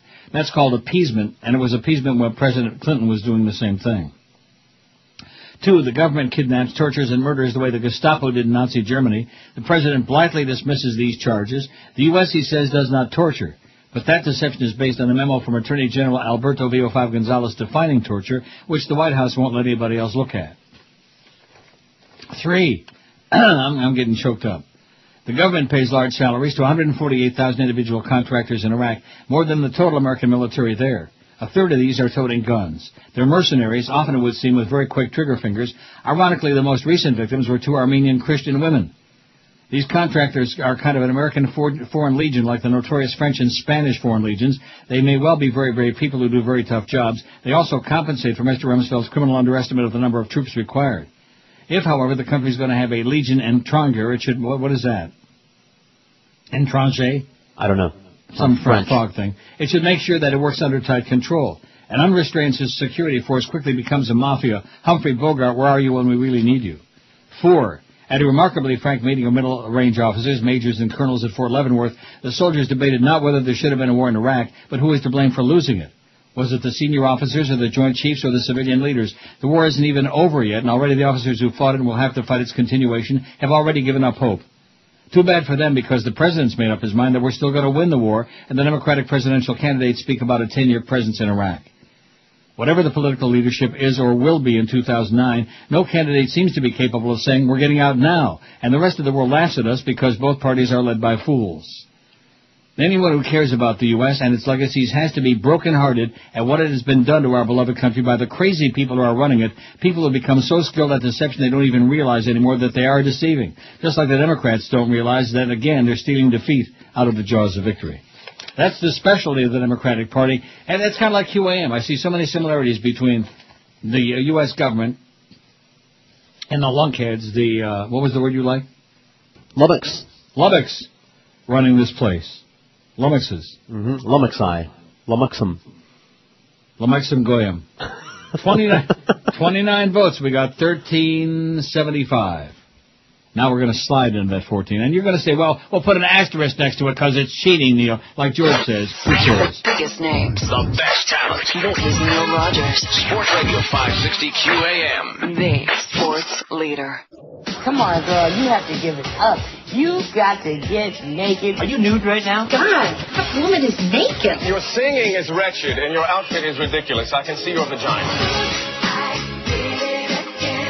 You know, so it's nakedness with a purpose. We're going to do a vaginal on her and check her cervix. We're going to have a rainbow coming out of my hoo-ha. You get to see me naked. True, true, my vagina will never be the same. But who cares? If I said you had a beautiful body, would you take your pants off and dance around a little? My vagina was itching to the beat of the band. Okay, like would I be able to do that with my vagina? You wearing clean underwear? I'm definitely not wearing my underwear. By the way, I'm not wearing underwear. 144 1602 at QM. Now look at the list of candidates for Hank's job. Wow, that's circulating around the building. We should add some of these to this poll. Well, I- I'm going to leave that to you guys. I'm not going to potchkey around with that. We only got 15 minutes left. Put some of the obvious choices on there, like uh, the like Big the Big O. since he's going to get it. Evan Cohen, Kim Bokamper, Joe Zagakakakakaki, uh, and a bunch of others on here. Kenny Walker, there you go. Kenny and Bo Afternoon Show. like that. What do you think? Mm-hmm. Uh, Jeff, uh, Meet Mifo, Jeff DeForest. Jorge Sedano simulcast, there you go. Uh, Don Bailey Jr. and Ted Ginn Jr. Well, Ted can't play much football, so how about putting him on the air? Uh, Bill Zimpfer on the phone. Lenny Martez. Ethan Skolnick. They left off, uh, is Alex Marvez on here or not? No. Oh. At least I, I haven't seen him yet. Jim Berry. Uh, Chicken Neck, Boca Bryan. Uh, there's a whole bunch of people. Oh, look at that. O.J. McDuffie and Mark Eisenberg. There you go. The Real Deal Afternoon Drive. Mad Dog. Oh, two to seven. Yeah, Mad Dog's going to do a five-hour show. Right. Uh, Jesse Agler, Jason Solodkin, uh, John Offord, all the best of Neil. I'm O. Howard David and the Beast. The Beast, it says infinity to one against. In other words, And he's no got better odds than I got. No chance. Oh, you're not even on this Ah, list. you are see. Notice that. But you're on our list. Now let me just tell Chris, who's uh, trying to learn a little bit of something here. What did we have? We had 1346. And now we have 48. We have 1392, Mr. Hotshot, 1394. We need only six more votes. We'll have 1400 for the There's day. something else that's not on this list. What's that? Anything That that'll get a rating. Oh, well, I, I think most of the names that are on here aren't going to do that. Most? Just, just remember one thing. What? The other, the poll is for fun. Oh, I know. The, the answer is whatever isn't going to work. Because Right. like you say, Right. with the current regime, whatever they like, there are two things we know for sure. Here's a safe one, bet. One, it's going to fail, and Mhm. two, it's going to suck. Right. Not necessarily in that order. I think it, no, it, it'll suck. Then it'll fail. Yeah, first it has to suck, and then it'll Yeah. fail. It doesn't have to suck, but it will. No. We got 51 vote, and what do you get? Another day older and deeper in debt. 1397. We need only three more. Wow, we're going to do 1400. See, Chris, I told you I'd bail your fat ass out. You're too kind. Who should replace Hank on QM? Hank is leaving at the end of December. His contract is up. They don't want to pay him. He doesn't want to take a 50 or 60% pay cut because they're treating him like crap. And he hates Joe Bell like poison. George Rodriguez should do a non-sports show, 17. Just let the Cuban broadcast interference blend with transmitter maintenance, 16. That'd be the cheap way to go, I guess. Bring back Ferrall, 9. Bring back Mo, 5. Yoli, 2. And the Crow has got 2. So you guys add a bunch of other names on here, whatever you think. Yeah, I just put another five or six on there right now. Did you really? Yep. oh, look at that. Got a whole bunch of names on there. Plus, we got 59 votes, so we're way over now. We got, oh my God, 1405. right. You happy now? So happy. Did that come through for your fat ass? Of course. 1405. 59 vote. Nobel laureate Doris Lessing said the 9-11 attacks in the U.S. were not that terrible when compared to attacks by the IRA in Britain. September 11th was terrible, but if one goes back over the history of the IRA, what happened to the Americans wasn't that terrible, the Nobel Literature Prize winner told the leading Spanish daily El País. Some Americans will think I'm crazy, she said. Many people died, two prominent buildings fell, but it was neither as terrible nor as extraordinary as they think. There are very naive people, or they pretend to be, she said, in an interview published on Sunday. you know what people forget, she asked? That the IRA attacked with bombs against our government. It killed several people while a conservative Congress was being held, and in which the Prime Minister, Margaret Thatcher, was attending. People forget, she said. Nearly 3,000 people were killed in the 9-11 attacks. About 3,700 died, and tens of thousands of people were maimed in more than 30 years of violence in Northern Ireland. The IRA guerrilla group, which caused most of, most of the deaths, disarmed in 2005. Attempts by the Associated Press to reach Lessing in London for comment yesterday were unsuccessful. Her agent's office said the author, author was unavailable because she isn't feeling well. Aww. In the El Pais interview, Lessing had sharp words for President Bush and his ally, former British Premier Tony Blair. I always hated Tony Blair from the beginning, she said. Many of us hated Tony Blair. I think he's been a disaster for Britain, and we've suffered him for many years. I said it when he was elected, this man is a little showman, a showman who's going to cause us problems, and he did. As for Bush, he's a world calamity, added Lessing. Everyone is tired of this man. Either he is stupid or he is very clever, although you have to remember he's a member of a social class which has profited from wars. Iran also came in for a bashing from Lessing, who was born to British parents who were living in now what is Bakhtaran, Bakhtatran, Iran, I can't say it, whatever it is, part of Iran. I hate Iran. I hate the Iranian government. It's a cruel and evil government, she was quoted as saying. Look what happened to his president in New York. They called him evil and cruel in Columbia University. Marvelous. They should have said more to him. Nobody criticizes him because of the oil. The author of dozens of works from short stories to science fiction, including the classic The Golden Notebook, Lessing won the Nobel Prize for Literature earlier this month. She was praised by the judges for her skepticism, fire, and visionary power. Look at that. We got 80 votes on there already on the new poll. How do you like that? It's only been on there just a few minutes. Just to bail your ass out. Something we need to work on here. George is tied with the Cuban interference. You think there's like something Uh, symbolic I was about just that? thinking that. Yeah. George and Cuban noise.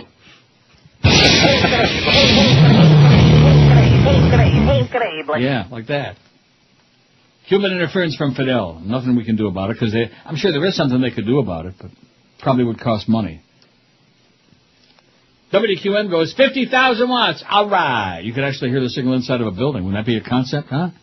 No, I can't Including imagine. the fact the signal is unlistenable and the uh, lack of promotion. You put all these components together, and it's like uh, you know trying to fish, trying to swim upstream, like a tilapia. Now, wasn't that a bit of irony that tilapia, that Toronto is the uh, world headquarters, at least North America, for tilapia Right. fish? Wasn't None that of us had any idea. Wow. Little did I realize when I looked at that dead fish on a plate last night across the table from me. I don't know how people can eat fish. Oh. Oh, with a fork usually. Little lemon. What It explains a lot that you don't like it. What do you mean by that? Huh? Yeah. I heard that anti comment. Anyway, you've got 25 and the Spanish interference has got 25. Oh, I just moved ahead. 29-27. Scott Ferrall's got 11. Mo's got 11. Bring back Mo in the afternoon. There you go, the Mo man. I mean, we know he can get at least a one point. Oh. He, got, he can do that. Mo and Geldy. So what, what's Geldy doing over there, Chris? Do we have any idea besides the Panther games? Boy, that's that's just. Uh, he's not doing I it. He's have on no idea. He's on TV doing a brutally Geldy-esque job. You have no idea whether he's actually on the air, like on the weekends or something. I know I've heard him on the weekends once or twice, but uh, we'll try to. Was he I'll try to find squeaking? They'll get in on it. They're all fighting over at the Leaf bench. Oh, look at that. Leafs and the Blackhawks in a big brawl, baby. That's what they should have done a couple of nights ago. They should have had a big brawl because they really suck. They couldn't win a fixed game. Kind of, maybe they ought to get a hold of Joel Feinberg because his people over there seem to have a real good uh, knack. I'm Looks like finding he's the on people- Saturday morning. What is it? Looks like he's on Saturday morning. How do you know that? You're on their website? Yeah, I went to their uh, lineup. Well, listen, while you're on there, buy a few of those meal deals from Stugotz because he's really hurting, man. He's got stuff. He's got stuff from before Jesus was an infant. That's sure, you Stu gonna Gatz. send me the money? And that's because they have that gigantic audience over there, you know. Well, the the audience is like fickle, though. They only tune into them like one month out of every six or seven, and they say, "Oh, we just just decided we hate this," and they run away, you know. Like especially between July and August. Biggest name. Fifteen shares to a point. The sports leader.